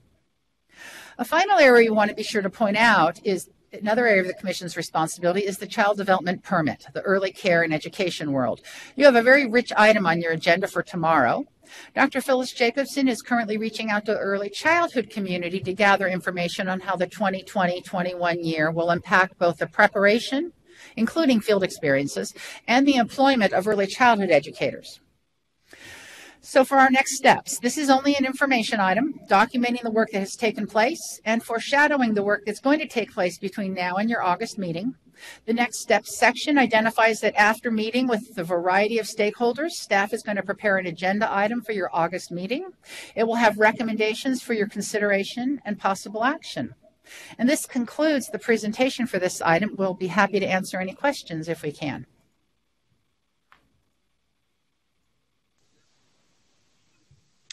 Thank you, uh, Terry Clark, Erin Skubal, and Amy Reising. That was a very um, comprehensive and informative presentation of the item. We'll now open for public comment. Uh, recording Secretary, are there any public comments? Yes, there are. The first is Jane Robb. Good morning. This is Jane Robb from the California Teachers Association. I wanted to speak specifically to the section on certificated assignments on page 1H2 in the agenda item.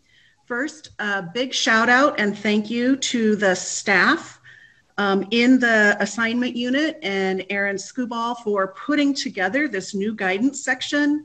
It's useful, it's timely, and it's responsive to um, needs in the field. So thank you. Unfortunately, it's also behind a password protected firewall. Um, we're requesting that, that those new pages are also linked to the public access COVID 19 information pages for all stakeholders that are on the regular commission's website, not the credential information guide. Um, although the agenda item states that an individual can email the CTC for login information, that seems unnecessarily burdensome for both commission staff and for stakeholders. Um, and if it's not publicly accessible, and if a person doesn't read today's agenda to know that, which I would submit most people have not read today's agenda, um, they won't know that it even exists. So we're requesting that as soon as possible, um, as we all know from Commissioner Simmons and Commissioner Marten's comments, schools are well underway into planning for next year, and this information can be really helpful. That that information now be linked to the public access website rather than behind um, a password protected wall. So thank you very much. Thank you. Jane Robb. Uh, are there other public comments? Yes. Next is Carrie Yee.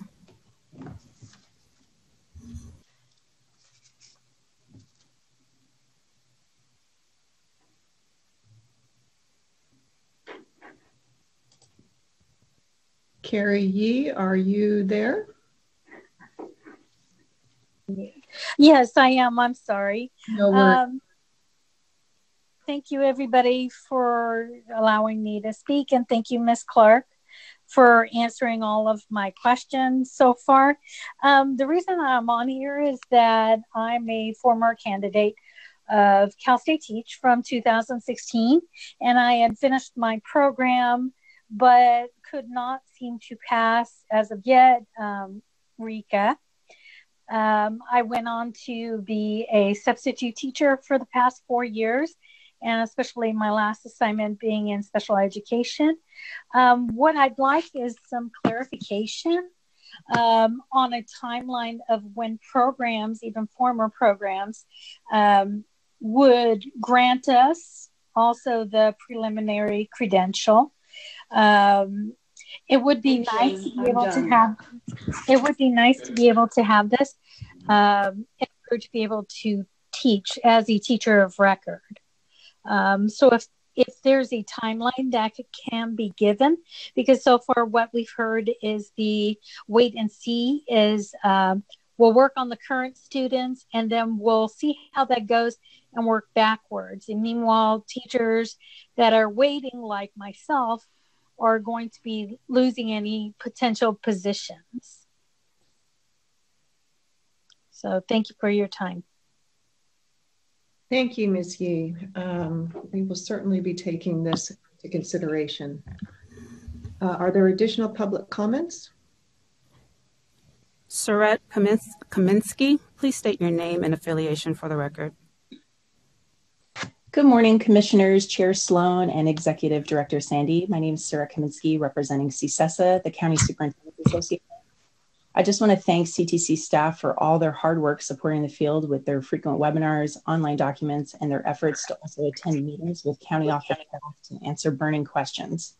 Staff's been extremely responsive, and we appreciate them listening to questions from the field and incorporating recommendations into further CTC guidance. It's been a trying time under COVID 19, and we appreciate CTC's rapid response and partnership with the field to keep our school systems running. I also want to offer county offices as a resource for future discussions regarding the child development permit, as well as the program leader collaborative input group outlined on page seven. Thank you again for all of your hard work. Thank you, Ms. Kaminsky. Are there additional public comments? We don't have any other comments. Thank you. Thank you. Do commissioners have any questions or comments on this item?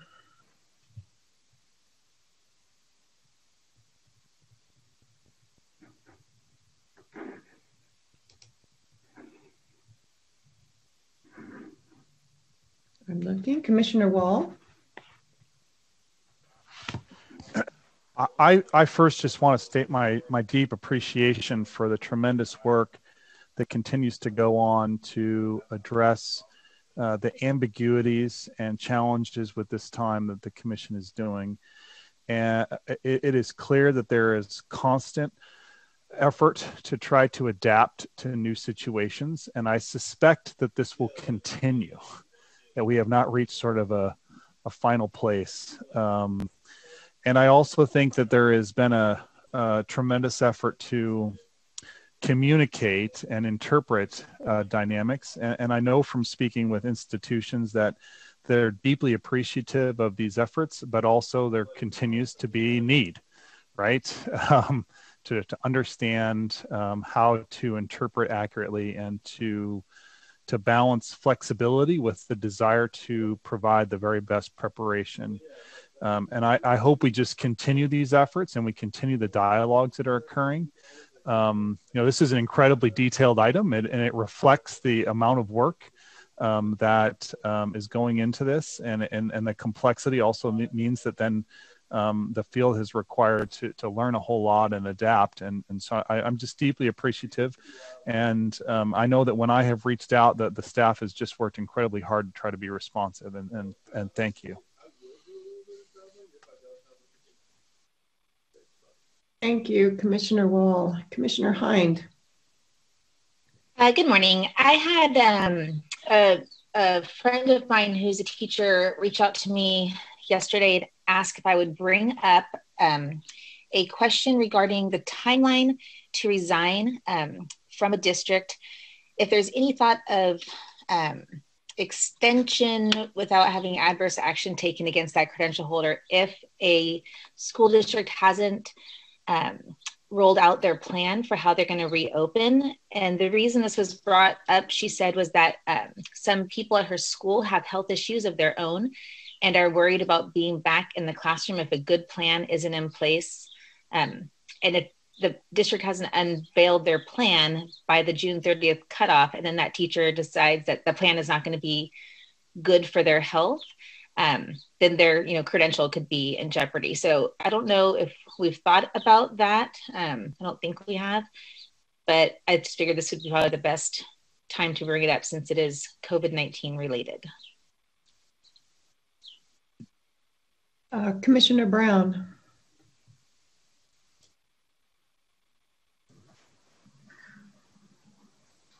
Thank you, guys. I just have to say that in the um, we've now moved towards um, a complete inclusion of early childhood in the child development permit. I'm smiling and thanking all of you, including Terry hanging in there with me when I was sort of the little nagging gadfly all the time. Um, I know that this will be a big, um, will be a, a, bigger presentation tomorrow, um, but it's very exciting to see um, this system um, begin to move in and bridge with the rest of the California public school credentialing system. Thank you. I'll save all my questions for tomorrow. Okay, we look forward to those. Uh, Commissioner Grenot-Scheyer. I'm sorry, we have one more public comment when you have a moment. Uh, let's go ahead and move to public comment then, and we'll come back to commissioner comments. Just one moment. Yeah.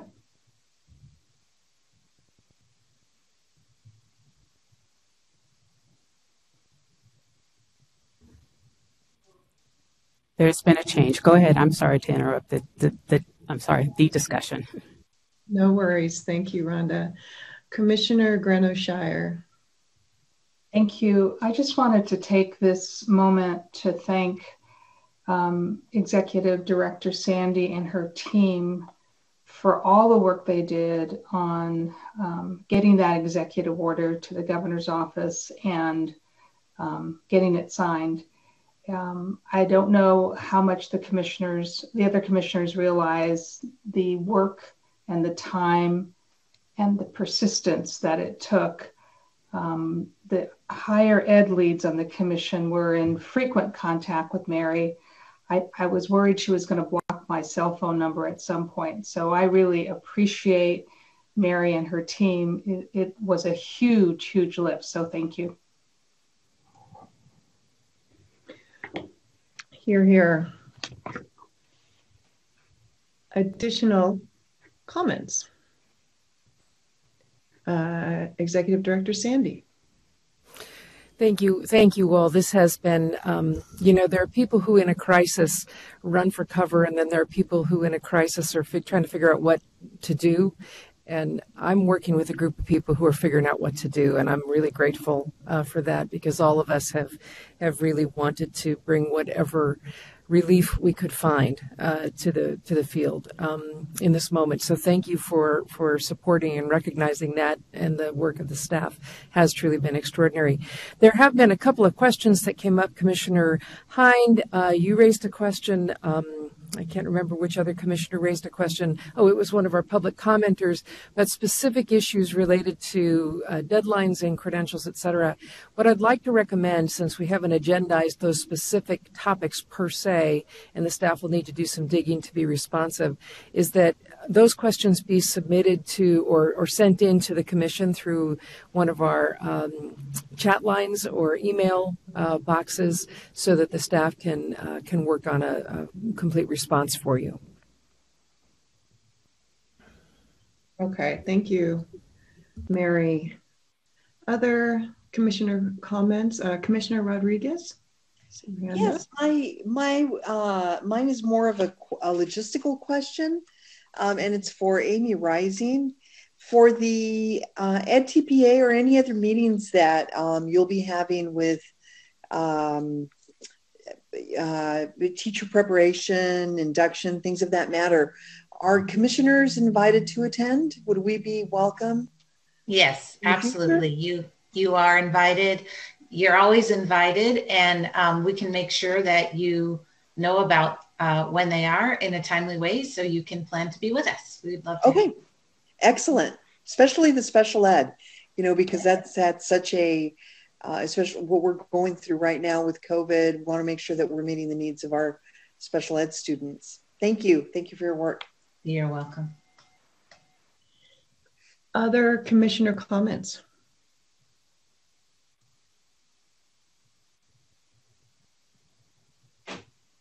All right. Well, I can uh, also attest to the tremendous work that um, Mary Sandy and her team have been doing over the last several months. And I hope I won't be overstepping when I say that in this constantly evolving environment, no matter what, we are going to seek out and listen to and learn from the field. No matter what, we're going to keep the needs of students at the forefront of our decision making. No matter what, we are going to remain open to change as change happens. And no matter what, we're going to keep working our hardest to support our educator community. And you've already heard how much that's happening. So thank you, Terry and Erin and Amy for this item. And thank you for all of the detail that you have had in there. Any other comments before we move? Uh, Commissioner Marten. Nice job riffing off of the students there with their poem. I appreciate that. And I hope that gets back to the students that you took a found poem and turned it into one for our work, which is exactly what a commissioner said earlier today. Statements are one thing, action is something else, and taking it to action. And um, the comments that I heard on this item made me re- realize I forgot to mention in my opening comments deep gratitude to the staff and to Mary and her team and everything that you've been leading. You guys have been doing a tremendous job, and this is evidence of that. And I meant to say that in my opening comments. So thank you. Thank you, Commissioner Marten. Okay, before we move to uh, the Educator Preparation Committee, I would just like to announce that we, uh, in the interest of time, have decided to move two additional items to tomorrow. So items 2B and 2D will also move to tomorrow. We already announced at the beginning that 2E would. So just to reiterate, 2B, 2D, and 2E will be moved to tomorrow. Okay. All right. I now recess the general session and move to the Educator Preparation Committee. Commissioner Rodriguez, will you please reconvene the committee? Or convene, sorry, you haven't re been there. Yes, yet. I will convene. Thank you. Uh, good morning again. Um, I'd like to call the June 2020 meeting of the Educator Preparation Committee to order.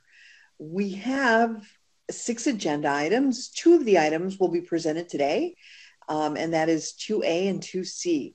And the remaining items will be presented tomorrow morning. I would like to remind members of the public uh, that wish to speak on a specific item to please email your request to comments at CTC. Oh, whoa, disappeared. Comments at ctc.ca.gov or call 916 322 6253 and indicate which item you wish to speak to so we can call your name during the appropriate time. Please make sure the request includes your full name, phone number, if participating through phone only, your affiliation, and the agenda number and title. Make sure the name you provide matches the name used to join the meeting. The meeting host will call your name, unmute your microphone, and allow you to share your comments. After you finish your comment, the microphone will be muted by the meeting host. Um, so we'll start with item 2A. First item is uh, are the potential changes to the accreditation framework. This is an action item um, that will be presented by Cheryl Hickey and Erin Sullivan. Ms. Hickey, will you please begin? Certainly. Can you all hear me okay? Yes. Right. Okay, good morning, commissioners. This agenda item is the proposed changes to the accreditation framework for your consideration today and, if you deem appropriate, for your adoption. The item was first presented to you at the January 2020 commission meeting when we were all together. Um, for your recollection, this framework is the overarching policy document outlining the Commission's accreditation system. And the actual nuts and bolts and processes and procedures of the accreditation system is in another document called the Accreditation Handbook. That document um, takes the guidance from the Commission and turns it into those processes and procedures, and that is adopted by the Committee on Accreditation, who you all appoint. Um, so this framework document includes that broader policy framework and the operational matters are contained in the handbook but they really go um, really together in order for the system to work. You may also recall that the reason we're bringing this item to you at this point in time is because we now have had four years of implementation of the current system, um, and we've learned a lot. So we believe that there are changes that need to be made. Um, some some are tweaks uh, and little adjustments, and others are more larger substantive issues, such as um, incorporating the major changes that you did over initial institutional approval um, over a course of time last year. We've also been advised that aspects of this accreditation framework should actually be in regulations. And so this is the first step to our next step, which would be to begin the promulgation of regulations. And so those items would come to you as well.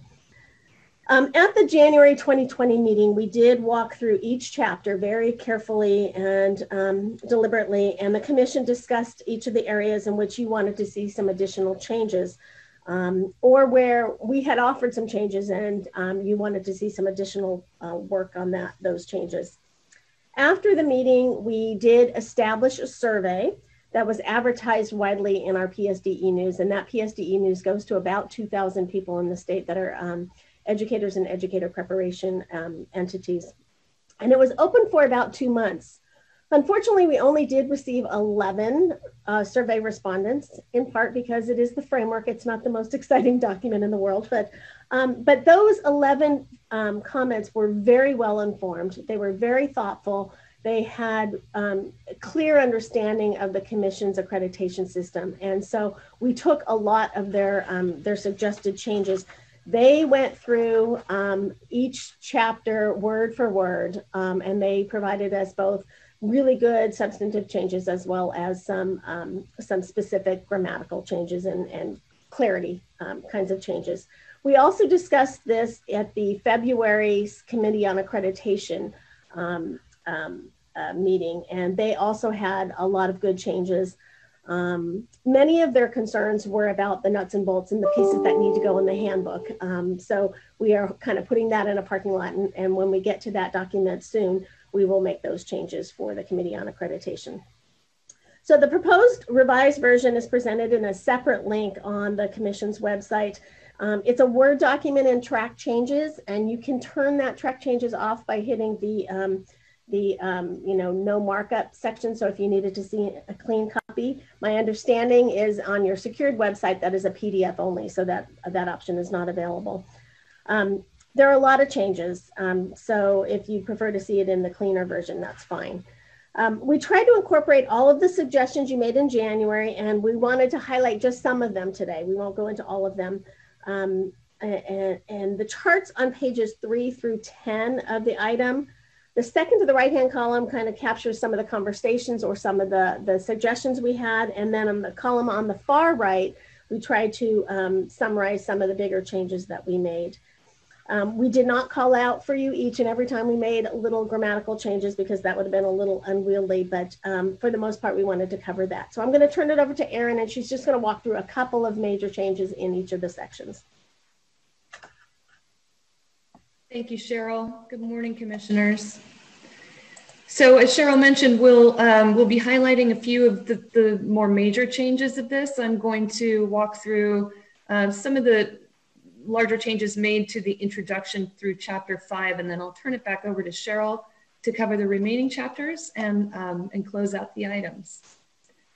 So um, in the introduction, let's start with the introduction.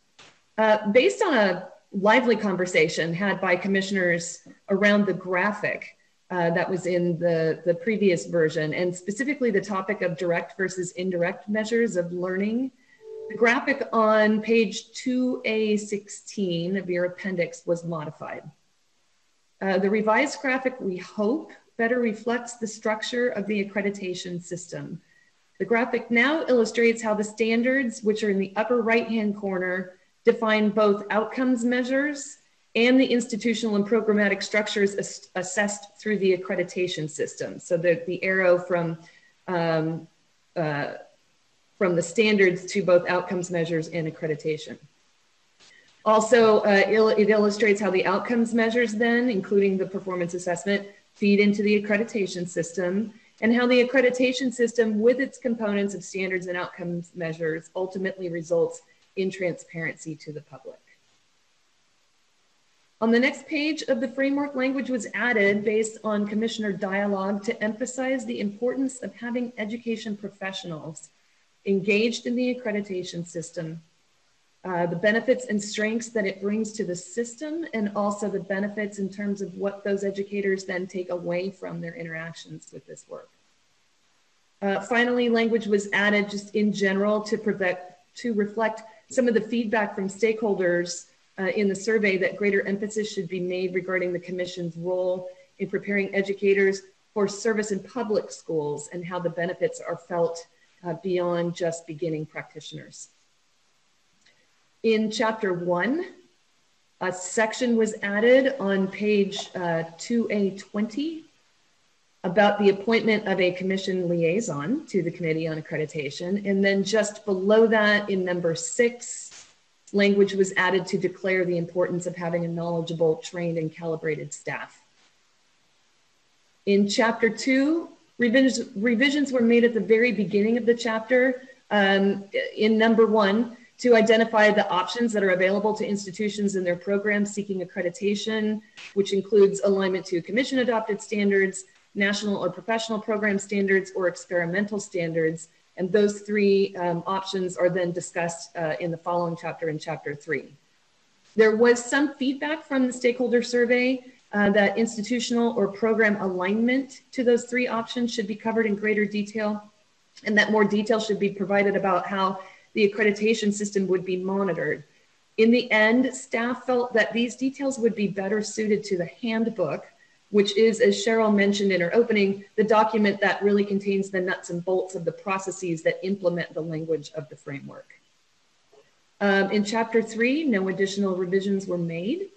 Uh, chapter four, we received feedback from commissioners and stakeholders regarding adding language to clarify uh, questions to be asked at each stage of the IIA process uh, and to ensure that institutions seeking IIA understand that they will be preparing educators to serve in California public schools. Um, uh, in this particular case, staff feels that this clarity can be provided in the IIA process itself and in the um, guiding documents that we give to programs and the questions that we ask programs to respond to. Then in chapter five, commissioners signaled their desire to ensure that there was evidence play, or I'm sorry, em emphasis placed on the use of data by institutions for self-reflection and evaluation for program changes. Um, and revisions were made to this section through the addition of language and also by retaining language that was previously identified by staff for deletion. And uh, Cheryl, now if you'd like to pick up on chapter six. So chapter six is the section that addresses the Board of Institutional Reviewers, and they are, as you recall, the really important group of folks um, that are um, experts in the field. They are K 12 practitioners as well as educator prep preparers who are across the spectrum of credential areas, and we really rely on them for this peer review system. So, this section um, talks about the volunteers. Uh, both the COA and the Commission expressed a desire to include more information about the recruitment of BIR members. We've added a paragraph on page 2A40 that discusses the importance of a diverse pool of BIR members. Um, so hopefully that's um, helpful to you and, and responds to your concerns. It was going through this chapter that you had a really rich discussion in January about diversity, equity, and inclusion, and whether that needs to be called out in the framework. Um, and the conversation at the time concluded with the the, the discussion um, that that needs to take place at the commission level on a larger, um, more comprehensive manner. Uh, Dr. Standy and Dr. Sloan mentioned that at the beginning in their in their comments. Um, I just wanted to say here that that at any point in time, if any of those conversations should impact this document, we certainly could come back to this document and and continue that conversation and make additional changes here. Um, also, so on chapter seven, this is the section that addressed national and professional accreditation. Um, it's on pages uh, 45 through 47. And this was the section that you all found most confusing, um, and rightly so, in the currently adopted version. Um, and so at the last meeting, we presented you with a significantly um, edited version of this chapter, but we were still trying to maintain and largely preserve what was in the current framework. With your encouragement, we went back to the drawing board to rethink this section um, and we simplified it and we uh, hopefully made it much, much clearer. So this section is now significantly shorter, more concise, and um, hopefully clearer. And at your, your suggestion, we removed what you called the what ifs um, and focused on the larger aspects uh, that are involved in acknowledging those institutions that want both national or professional accreditation and seeking commission accreditation. The operational aspects of that, we then will move and have into the accreditation handbook and make sure that it's clear there. And then finally in chapter eight, this is the section that talks about the evaluation of the accreditation system. And that also had garnered a lot of um, discussion from all of you at the last commission meeting or the commission meeting in January. Um, in response to some of the questions that you all raised, we mentioned that the language in the current accreditation framework is really language that reflects a bygone era. Um, and you had made the suggestion that we really just take another look at this. Um, so we have done so, and we've sig significantly rewritten the paragraph at the bottom on page 48 and the top of 49 to reflect current realities, the importance of collaboration, and the inclusion of local education agencies as educator preparers. Um, additionally, we tried to reflect that the accreditation system itself should employ the same type of standard for continuous improvement that it requires of institutions and the programs it monitors. So with that, we're happy to take any questions, can incorporate any additional changes you have to that language. And if you deem appropriate, then um, we could recommend uh, adoption. Thank you. Thank you. We will now open for public comment. Um, do we have any public comment on this item? Yes, we do. Lisa Moscow. She's not present. Thank you. Next is Wendy Zacuto or Zucato. Zacuto. I'm Wendy Zacuto. Zacuto. I'm Can you please state your, your name and affiliation for the record, please? Yes. Thank you so much for the opportunity to address this amazing body. Um, I am representing Speak Up, which is a, a public organization for public schools. I'm inspired by what I've heard today, and I want to add our voices from Speak Up to cultivate educational justice. The quality of special education services provided is defined by the skills and compassion of adults who participate with parents in the allocation of services in public schools. In my work with Speak Up, the voices of my colleagues on the Special Education Task Force have enriched my background as an educator. Hearing their testimonies of participation in district procedures has left me stunned.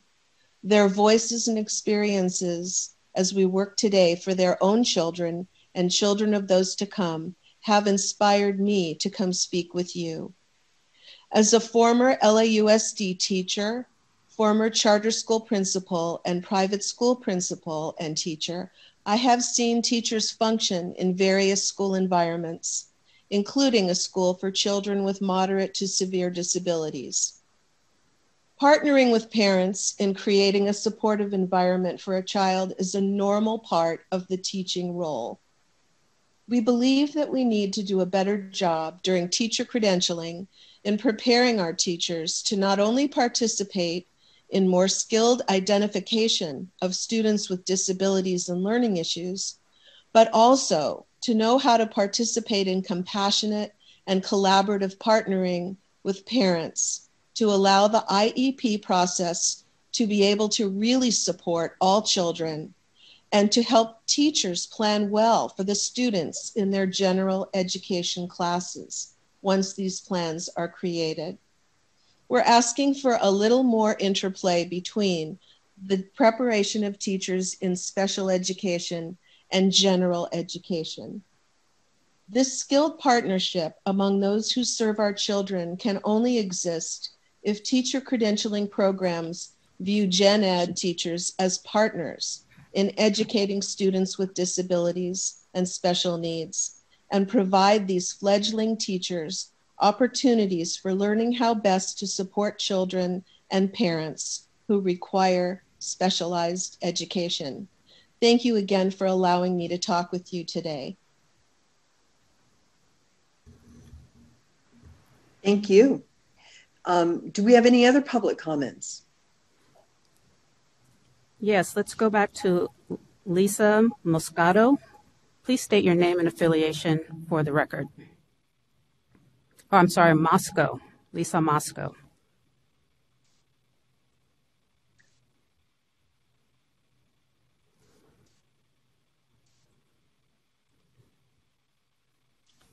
Did you unmute her? Okay, can you hear me? Yes. Me? Okay, thank you. Good morning. My name is Lisa Moscow, and I'm the parent of two students with learning disabilities in LAUSD. I'm also the director of advocacy for special education at Speak Up and the chair of the LAUSD CAC. Today, I speak on behalf of Speak Up and of all the parents I work with who struggle with accessing true, free, and appropriate public education for their special needs kids. According to a study published by the National Center for Educational Outcomes in 2010, over 80% of students with disabilities can achieve at grade level when offered appropriate supports. Right now in LAUSD, only 10% of students with disabilities meet grade level standards.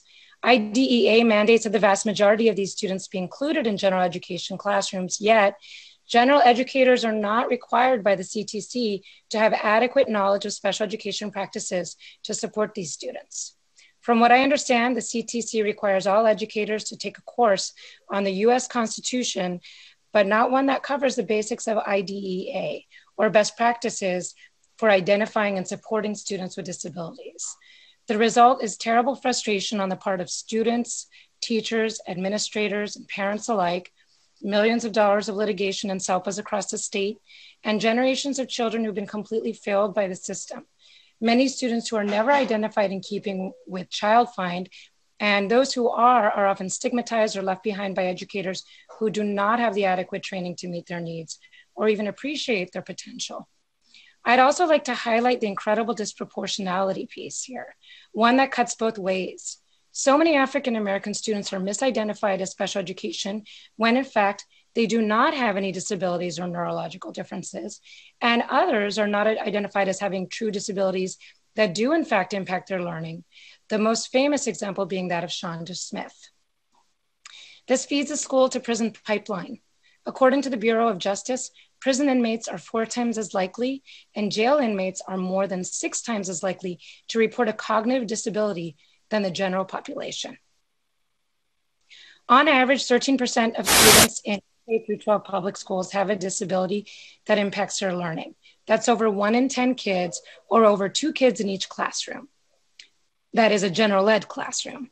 I urge this commission to involve parent voice more in the accreditation process and framework and to take a closer look at how to truly support and prepare educators, all educators, so that they can meet the urgent needs of our students with disabilities.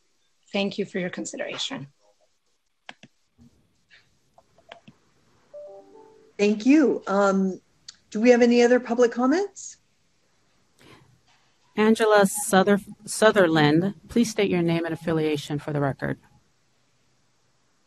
Hi, everyone. I'm Angela Sutherland, and I'm a parent of a middle schooler who received special education services residential school through the Sacramento City Unified School District. I'm also a co-organizer with the Coalition for Students with Disabilities, a group that formed in 2018 focused on the educational rights of students with disabilities and other disadvantaged students. I want to thank the Commission for your efforts in creating a framework that fully prepares general educators to identify and support students with disabilities. I did closely follow the statewide special education task force and felt honored to sit in and give feedback on the subcommittee for educator preparation, but I am unclear on how the common trunk is being incorporated into the current framework. In Sacramento City USD, only 14.9% of students with disabilities are proficient in ELA and 12% in math, and fewer than 58% of students with disabilities graduate high school the lack of access to appropriate supports has led to an overrepresentation of students being sent to separate schools, denying their right to be educated in the least restrictive environment. In Sac City USD, there's a major disconnect between general education and special education. Our district has continued to add in special day classes while halting the expansion of inclusive practices and has not met the state performance plan indicators for least restrictive environment. Students with disabilities in Sac City USD are among those with the highest suspension rates in our district and our state.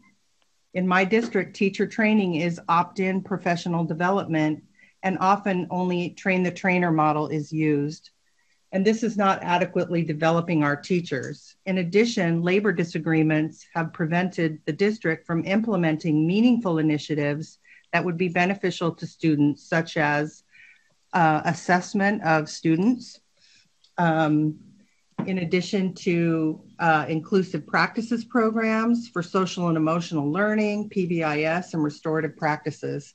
Our students can't wait any longer to get the help they need and it's vital because these issues make our student our schools a breeding ground for segregation, bullying, and disciplinary problems, and the needs go unaddressed for many students.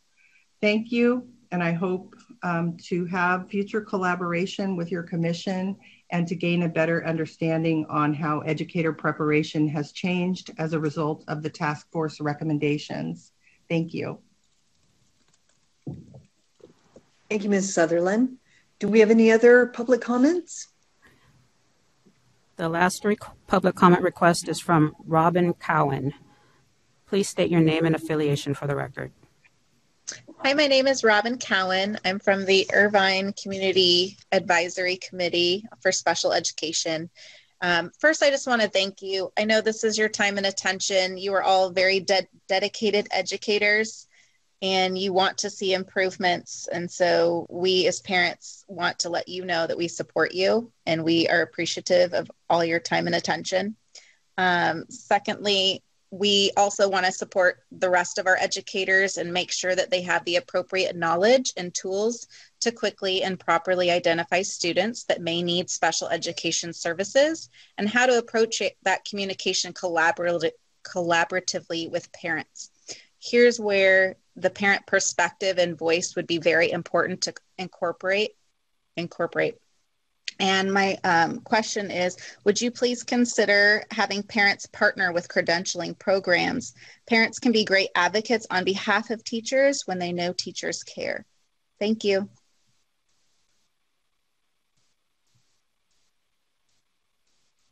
Thank you. Um, do we have any more public comments? Hi, Joe Rhonda. No, we have no further comments. Okay. So um, now that we uh, we're, we're closing this uh, public comment for this item, uh, commissioners, do you have any comments? And I'll look for your hands, digital hands, and hands with digits.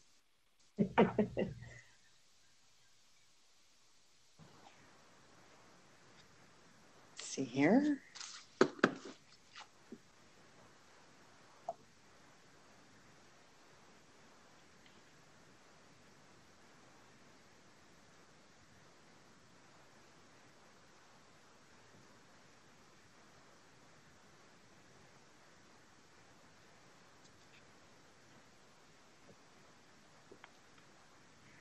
Okay, um, Commissioner Grenot-Scheyer, will you Please go ahead. I just wanted um, to ask for clarification. I'm trying to pull up the file really quickly, but at the end of the track changes Word document, I think there is a section missing because there's a sentence that begins and then doesn't end. So I'm just wondering if um, the staff could look at that and clarify. And I'm, I'm trying to pull it up. I'm sorry. I know you're talking about, and that was supposed to be um, the sentence ends with, or the the last uh, track change that says this periodic review, and it ends there. Um, that was supposed to be stricken so okay. that it with at educational organizations in the state. Thank you for noticing that. That was supposed to be a change. As you can see, there were lots of changes, so it was a little um, crazy to try to keep track of all of them. Yes. Thank you.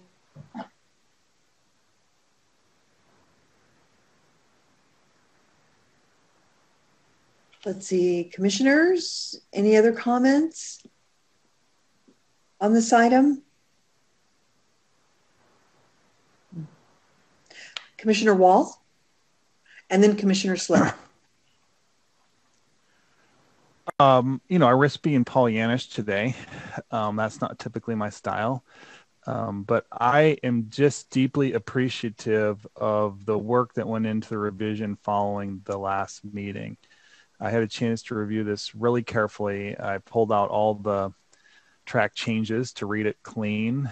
Um, I think that it actually it moved to advance a lot of what we had talked about in our last meeting. Um, I recognize the comments that um, were just made by the public, and I think that they're really important to think about. You know how the the framework makes sure to incorporate special education into the general education. Um, so, so those are something important to, to, to continue to consider but I think this is a real step forward. I'm I'm particularly deeply appreciative of the revision in Section Eight. You had to get all the way to it um, about the continuous improvement focus uh, of um, data gathering. I think that uh, both for institutions and for the commission. Um, so uh, to me, this was a, a really excellent response to the the really in-depth discussion we had, and um, and I just wanted to note that. Thank you. Commissioner Sloan?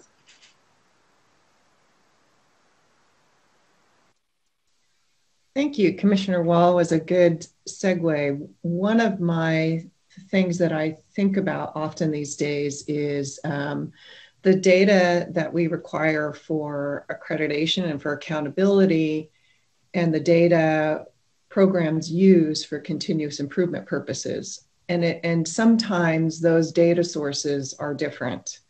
And the more uh, that we have been using data and accountability, the more I think programs have come to understand what kind of data has been important for their program improvement purposes um, and what kind versus the kind of data that um, is used in, for reporting purposes. Now, ideally, I think we want to get to a place where that data uh, overlaps and integrates uh, better. And I think that is somewhere that the field needs to go because I do also believe that uh, while we want to be sure that we are accrediting programs and ensuring that they are high quality for preparing teachers for kids, um, we also need to balance that with what is really the essential data that we need to make those decisions because it can be quite onerous on programs uh, at times to put all of this reporting together. So um, that's only to say that um, the framework, uh, I agree with Commissioner Wall, you all have done tremendous work in taking our comments from um, January, taking uh, other comments, your own knowledge, and putting it into it. And then there was just um, the piece that you mentioned, Cheryl, that we're all this is a, a continually evolving document and frame and that as we learn more and, focus more on what are the data elements that we need, what are the things that we really need in, in this framework. Um, we heard from some of our parents today of the special education community that all of these things will continue to go into this work, um, which I think is really important. And so, sort of on that note, I was just curious those of you who worked on this, on revising this framework, were there uh, additional questions or insights that you had? I know, Cheryl, you mentioned that uh, when you were framing um, the selection of the BIR committee, uh, lots of questions around who they are and, and our, our discussion around equity and access came into play. Were there other things that came up for you all as you were taking our suggestions and making these revisions? I would say there were there were a lot of um, comments about BIR and who they are and how um, knowledgeable they are, as well as staff. Um, so, sort of emphasize the conversation that you had in January about how important it is that um, the folks that participate are are knowledgeable and and and know what they're doing when it comes and have a good background in education in public education in particular. Um, I'd say the other area. Um, I'm, I'm trying to think. Erin, can you think of anything else? Um, no, I really appreciated being able to add in um, at, at, you know the commissioner's identification and the need for language around the importance of the professional educator's role in the accreditation system. Um, and I, I'm a little sheepish about having sort of overlooked that um, when we were making the modifications because it's something that I tell these BR, BIR members every time they show up for a program review or a common standards review or a site visit. Um, I'm constantly reminding them of the strength of the process because it's a peer review process, how much more meaningful their feedback is.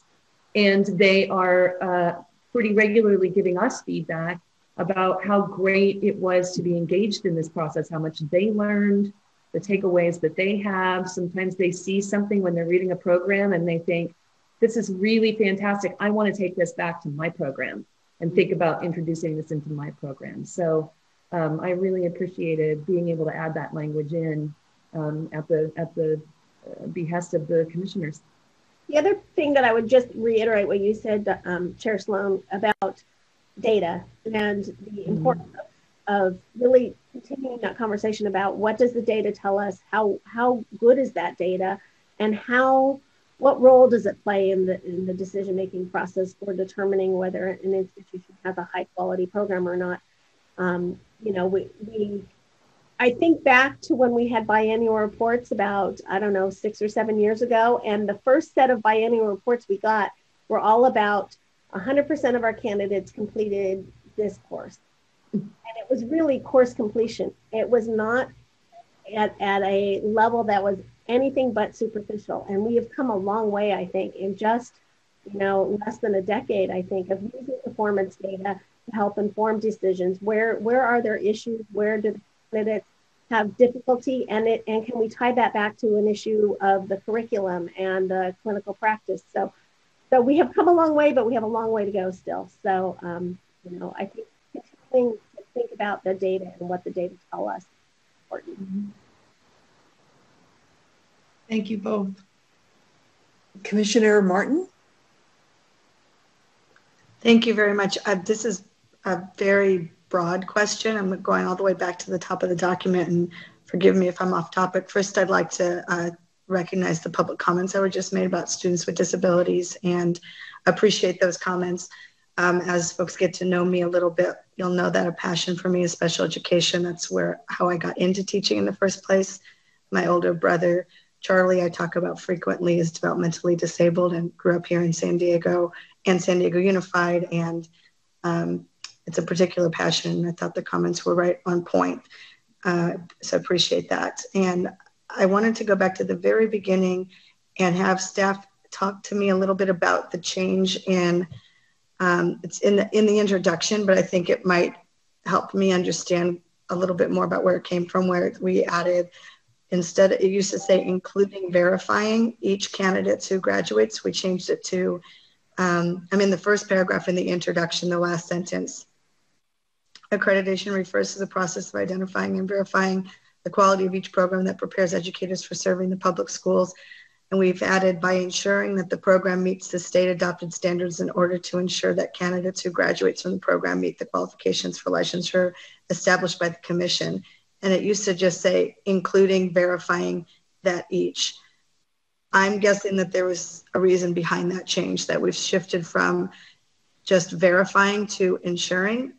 Could staff talk to that change and what's behind it a little bit, or somebody's able to comment to that? Or I can tell you what the thinking is here. I, I thought that it misrepresented what the commission does in the accreditation system. By saying that we were verifying each candidate, it made it sound like the accreditation team goes out, we look at every single stu- uh, candidate record, we make sure that they've all completed everything. We do not actually do that. So we look at the processes, procedures, making sure that those are in place. that we look at the advising material to make sure it's accurate and timely. We look at a sample of candidate um, information to make sure. We look at the processes for recommending the candidate to the commission, but we do not actually ask for a 100% comprehensive list of each candidate going through the program and where they are and what their individual, you know, by name, by requirements. Um, I don't think we have the capacity to do that, but we do make sure that the systems are in place to make sure that when a, when an, an educator preparation program recommends that that candidate has completed everything. So that it was just felt like it was just stretching. Uh, it just wasn't the appropriate language to use, and that this one more ac accurately represents what we do. Okay, that's what I was um, guessing, but I didn't want to guess at it, and I want, and I thought I know that so much thought has been put into this, and I'm appreciative of it. So I wanted to give you the ability to explain what was behind it, and I, that was ex extremely helpful. The next paragraph kind of does the same thing. You change the word assure to ensure. As a former literacy specialist, I know words matter, and these are really important changes that help reflect the work that I believe uh, you want it to be as reflective of what you're actually doing and not have it overstate or understate what the work is. So appreciate it. If, I don't know if you want to mention something about that as well, or if you've said it all already. No, that's exact. I mean, that's exactly it. We were we were really trying to be as careful as we could with the language and very precise. So I appreciate that. Thank you. Commissioners, um, any other comments on this item?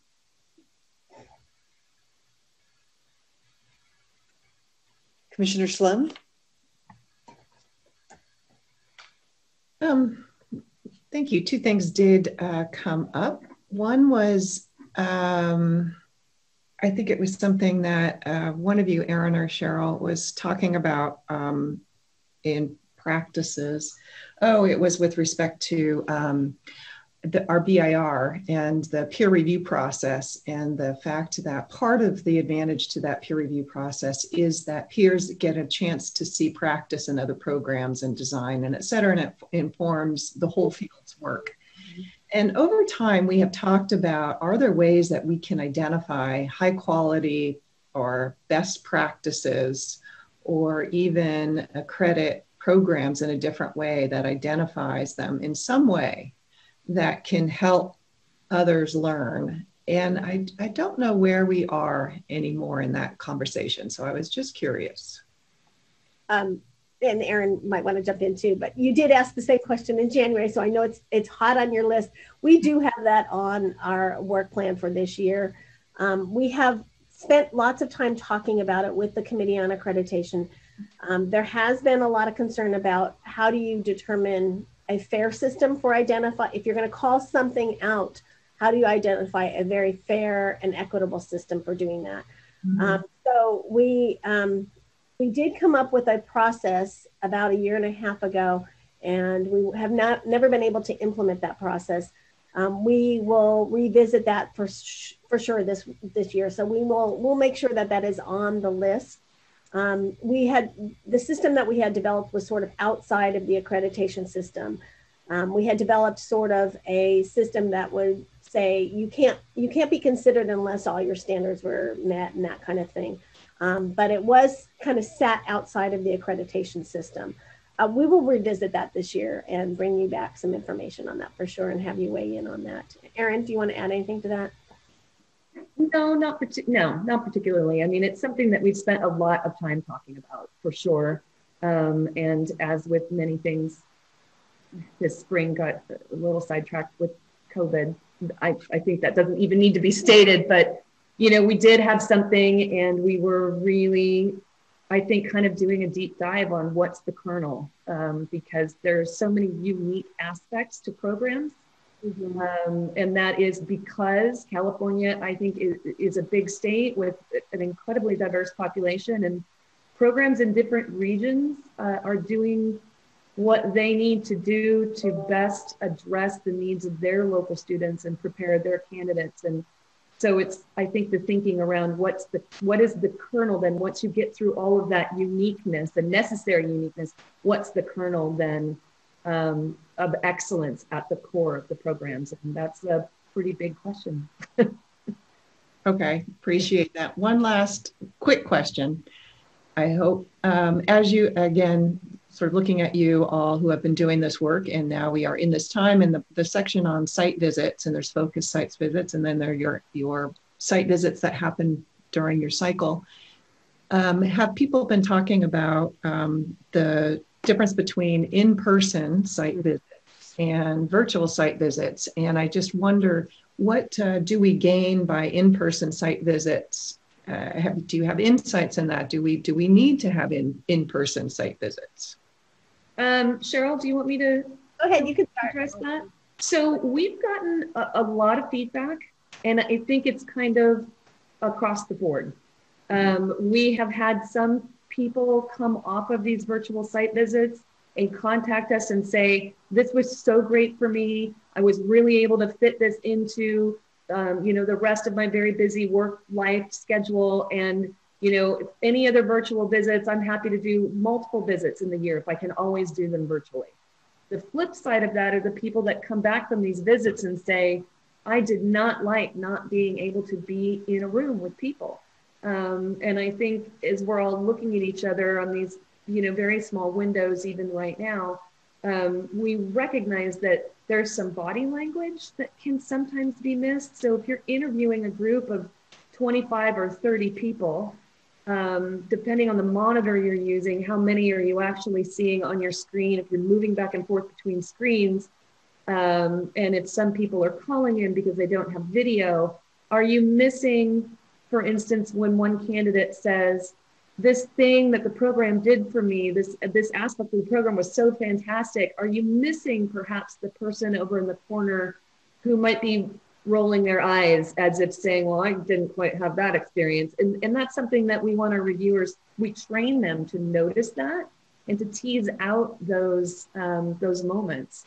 And so, yeah, I, you know, it's it's hard to weigh, but I think in general, um, most people prefer being able to be there in person. And I would just say that this year, when COVID hit, um, we were really starting the the hard part of the year in terms of the site visits. So we did um, almost half of our visits this year through a virtual form, um, and it, when there are no red flags, when there are no issues, these visits can be done pretty easily. But you don't always know that, and it's mm-hmm. when you find that institutions have issues where the virtual aspect of it becomes really difficult. The team, just the team conversation and the team's deliberation, trying to figure things out, um, is, is a little bit harder. And trying to tease out what the issues actually are is a little bit harder than you know being able to be in a room together. Um, you know, so so we don't always know what those red flags are until we actually get started on the accreditation site visit. There may be nothing that shows up prior to that. Um, so so that's the challenge, I think. Thank you. Commissioners, do we have any other comments? See, I'm scrolling through here. This is the um, the waiting period, the waiting time, different on Zoom. Okay, so I don't see any digital hands or hands with digits. Commissioner Rodriguez? Okay, yes, Erin. Yeah, I, I just, and I don't want to, if there is a commissioner out there with their hand up and we're not seeing that, please don't let me interrupt. But I, I didn't want the item to close without acknowledging the public comment. Um, be, because it's hard, again, when you're virtual, I don't know if they're seeing us nod our head and writing notes and things. So I just wanted to uh, be sure to, um, as staff, to acknowledge uh, that we heard the comments. And I just want to provide a little bit of quick clarification that the accreditation framework, it governs the commission's accreditation system, um, which is the system that approves the educator preparation programs and then monitors the programs. The specifics that were brought up in many of today's public comments are really specific to um, to the standards to special education and or general education teacher preparation um, and they're they're they're outside the area of the accreditation framework. That does not mean that they're not important issues and that staff didn't hear them. They just they're just outside sort of this conversation. and but I wanted to acknowledge the public comments. Mm-hmm. Thank you for that. And um, absolutely, if uh, our the, the current commissioners, our leadership at the commission, um, you know, we definitely uh, have had those discussions, and those are issues that are important to us. So, thank you, um, Ms. Sullivan, for for commenting on that. Uh, commissioners, any other comments? Commissioner Francois. Uh, thank you. I don't really have a comment. I have a question. Um, I appreciated the uh, surfacing of the composition of the Board of Institutional Review that comes out in this document. And I'm just wondering if we have any data to demonstrate if we have been successful in uh, the BIR representing a pool that is diverse based on race, ethnicity, sexual identification, sexual orientation, and state geographical area. Given the opening of this meeting at nine o'clock this morning, I think that our understanding of who who's making up um, the groups that are representing and supporting the work of the CTC matters. And so my question, I guess, I don't know who this question is for. Um, what is the data that we have that says we've been successful in diversifying the, BI, the BIR? And if we have not been, I would propose that we have some, some conversation, perhaps at another meeting, about what actions we can take to do so. And I guess I would um, say that uh, historically what we've collected is information about expertise. And obviously we know you know where an, where a person is employed so we know what kind of system they come from whether they're you know a uc or a csu or a k-12 we have not done a good job of, of collecting the other data and we certainly could talk about that and get and and move forward on that. I think that would be a very good suggestion. Thank you. Mm-hmm. commissioner sloan I think Commissioner Francois' uh, question is precisely what uh, we need to be thinking about in every single one of our agenda items from now on. We sh- should always have been thinking about this, but let's see if we can get, we can start asking these questions so that each of the things that we do can start focusing on the kinds of things that we need to focus on.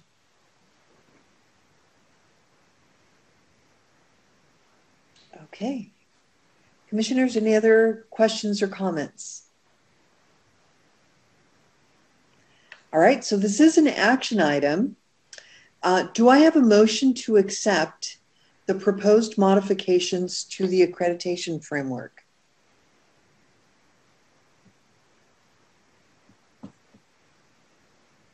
Commissioner Sloan? I move to accept the proposed modifications to the accreditation framework. Excellent, thank you. Do we have a second? Commissioner Marks? Okay, so we have a motion on the floor and a second. Um, any further discussion, commissioners?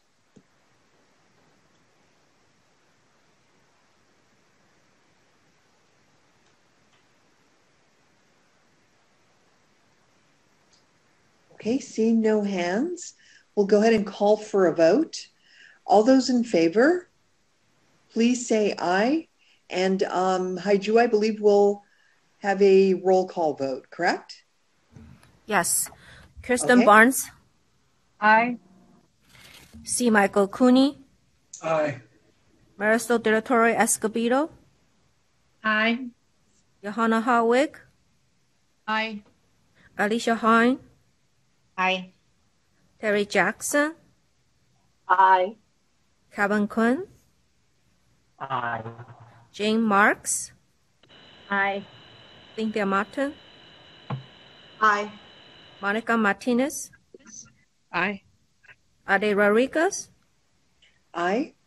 David Simmons. Aye. Tine Sloan. Aye. Motion carries. Thank you. So we will continue after lunch with item 2C. We're going to take a half an hour break. It's 12.07 right now. We'll pretend it's 12.10 so we can come back at 1240. All right, and um, and then we'll continue with 2C. Uh, then we'll go into closed session. Correct? Yes. Okay. All right. See you in a little bit. 1240.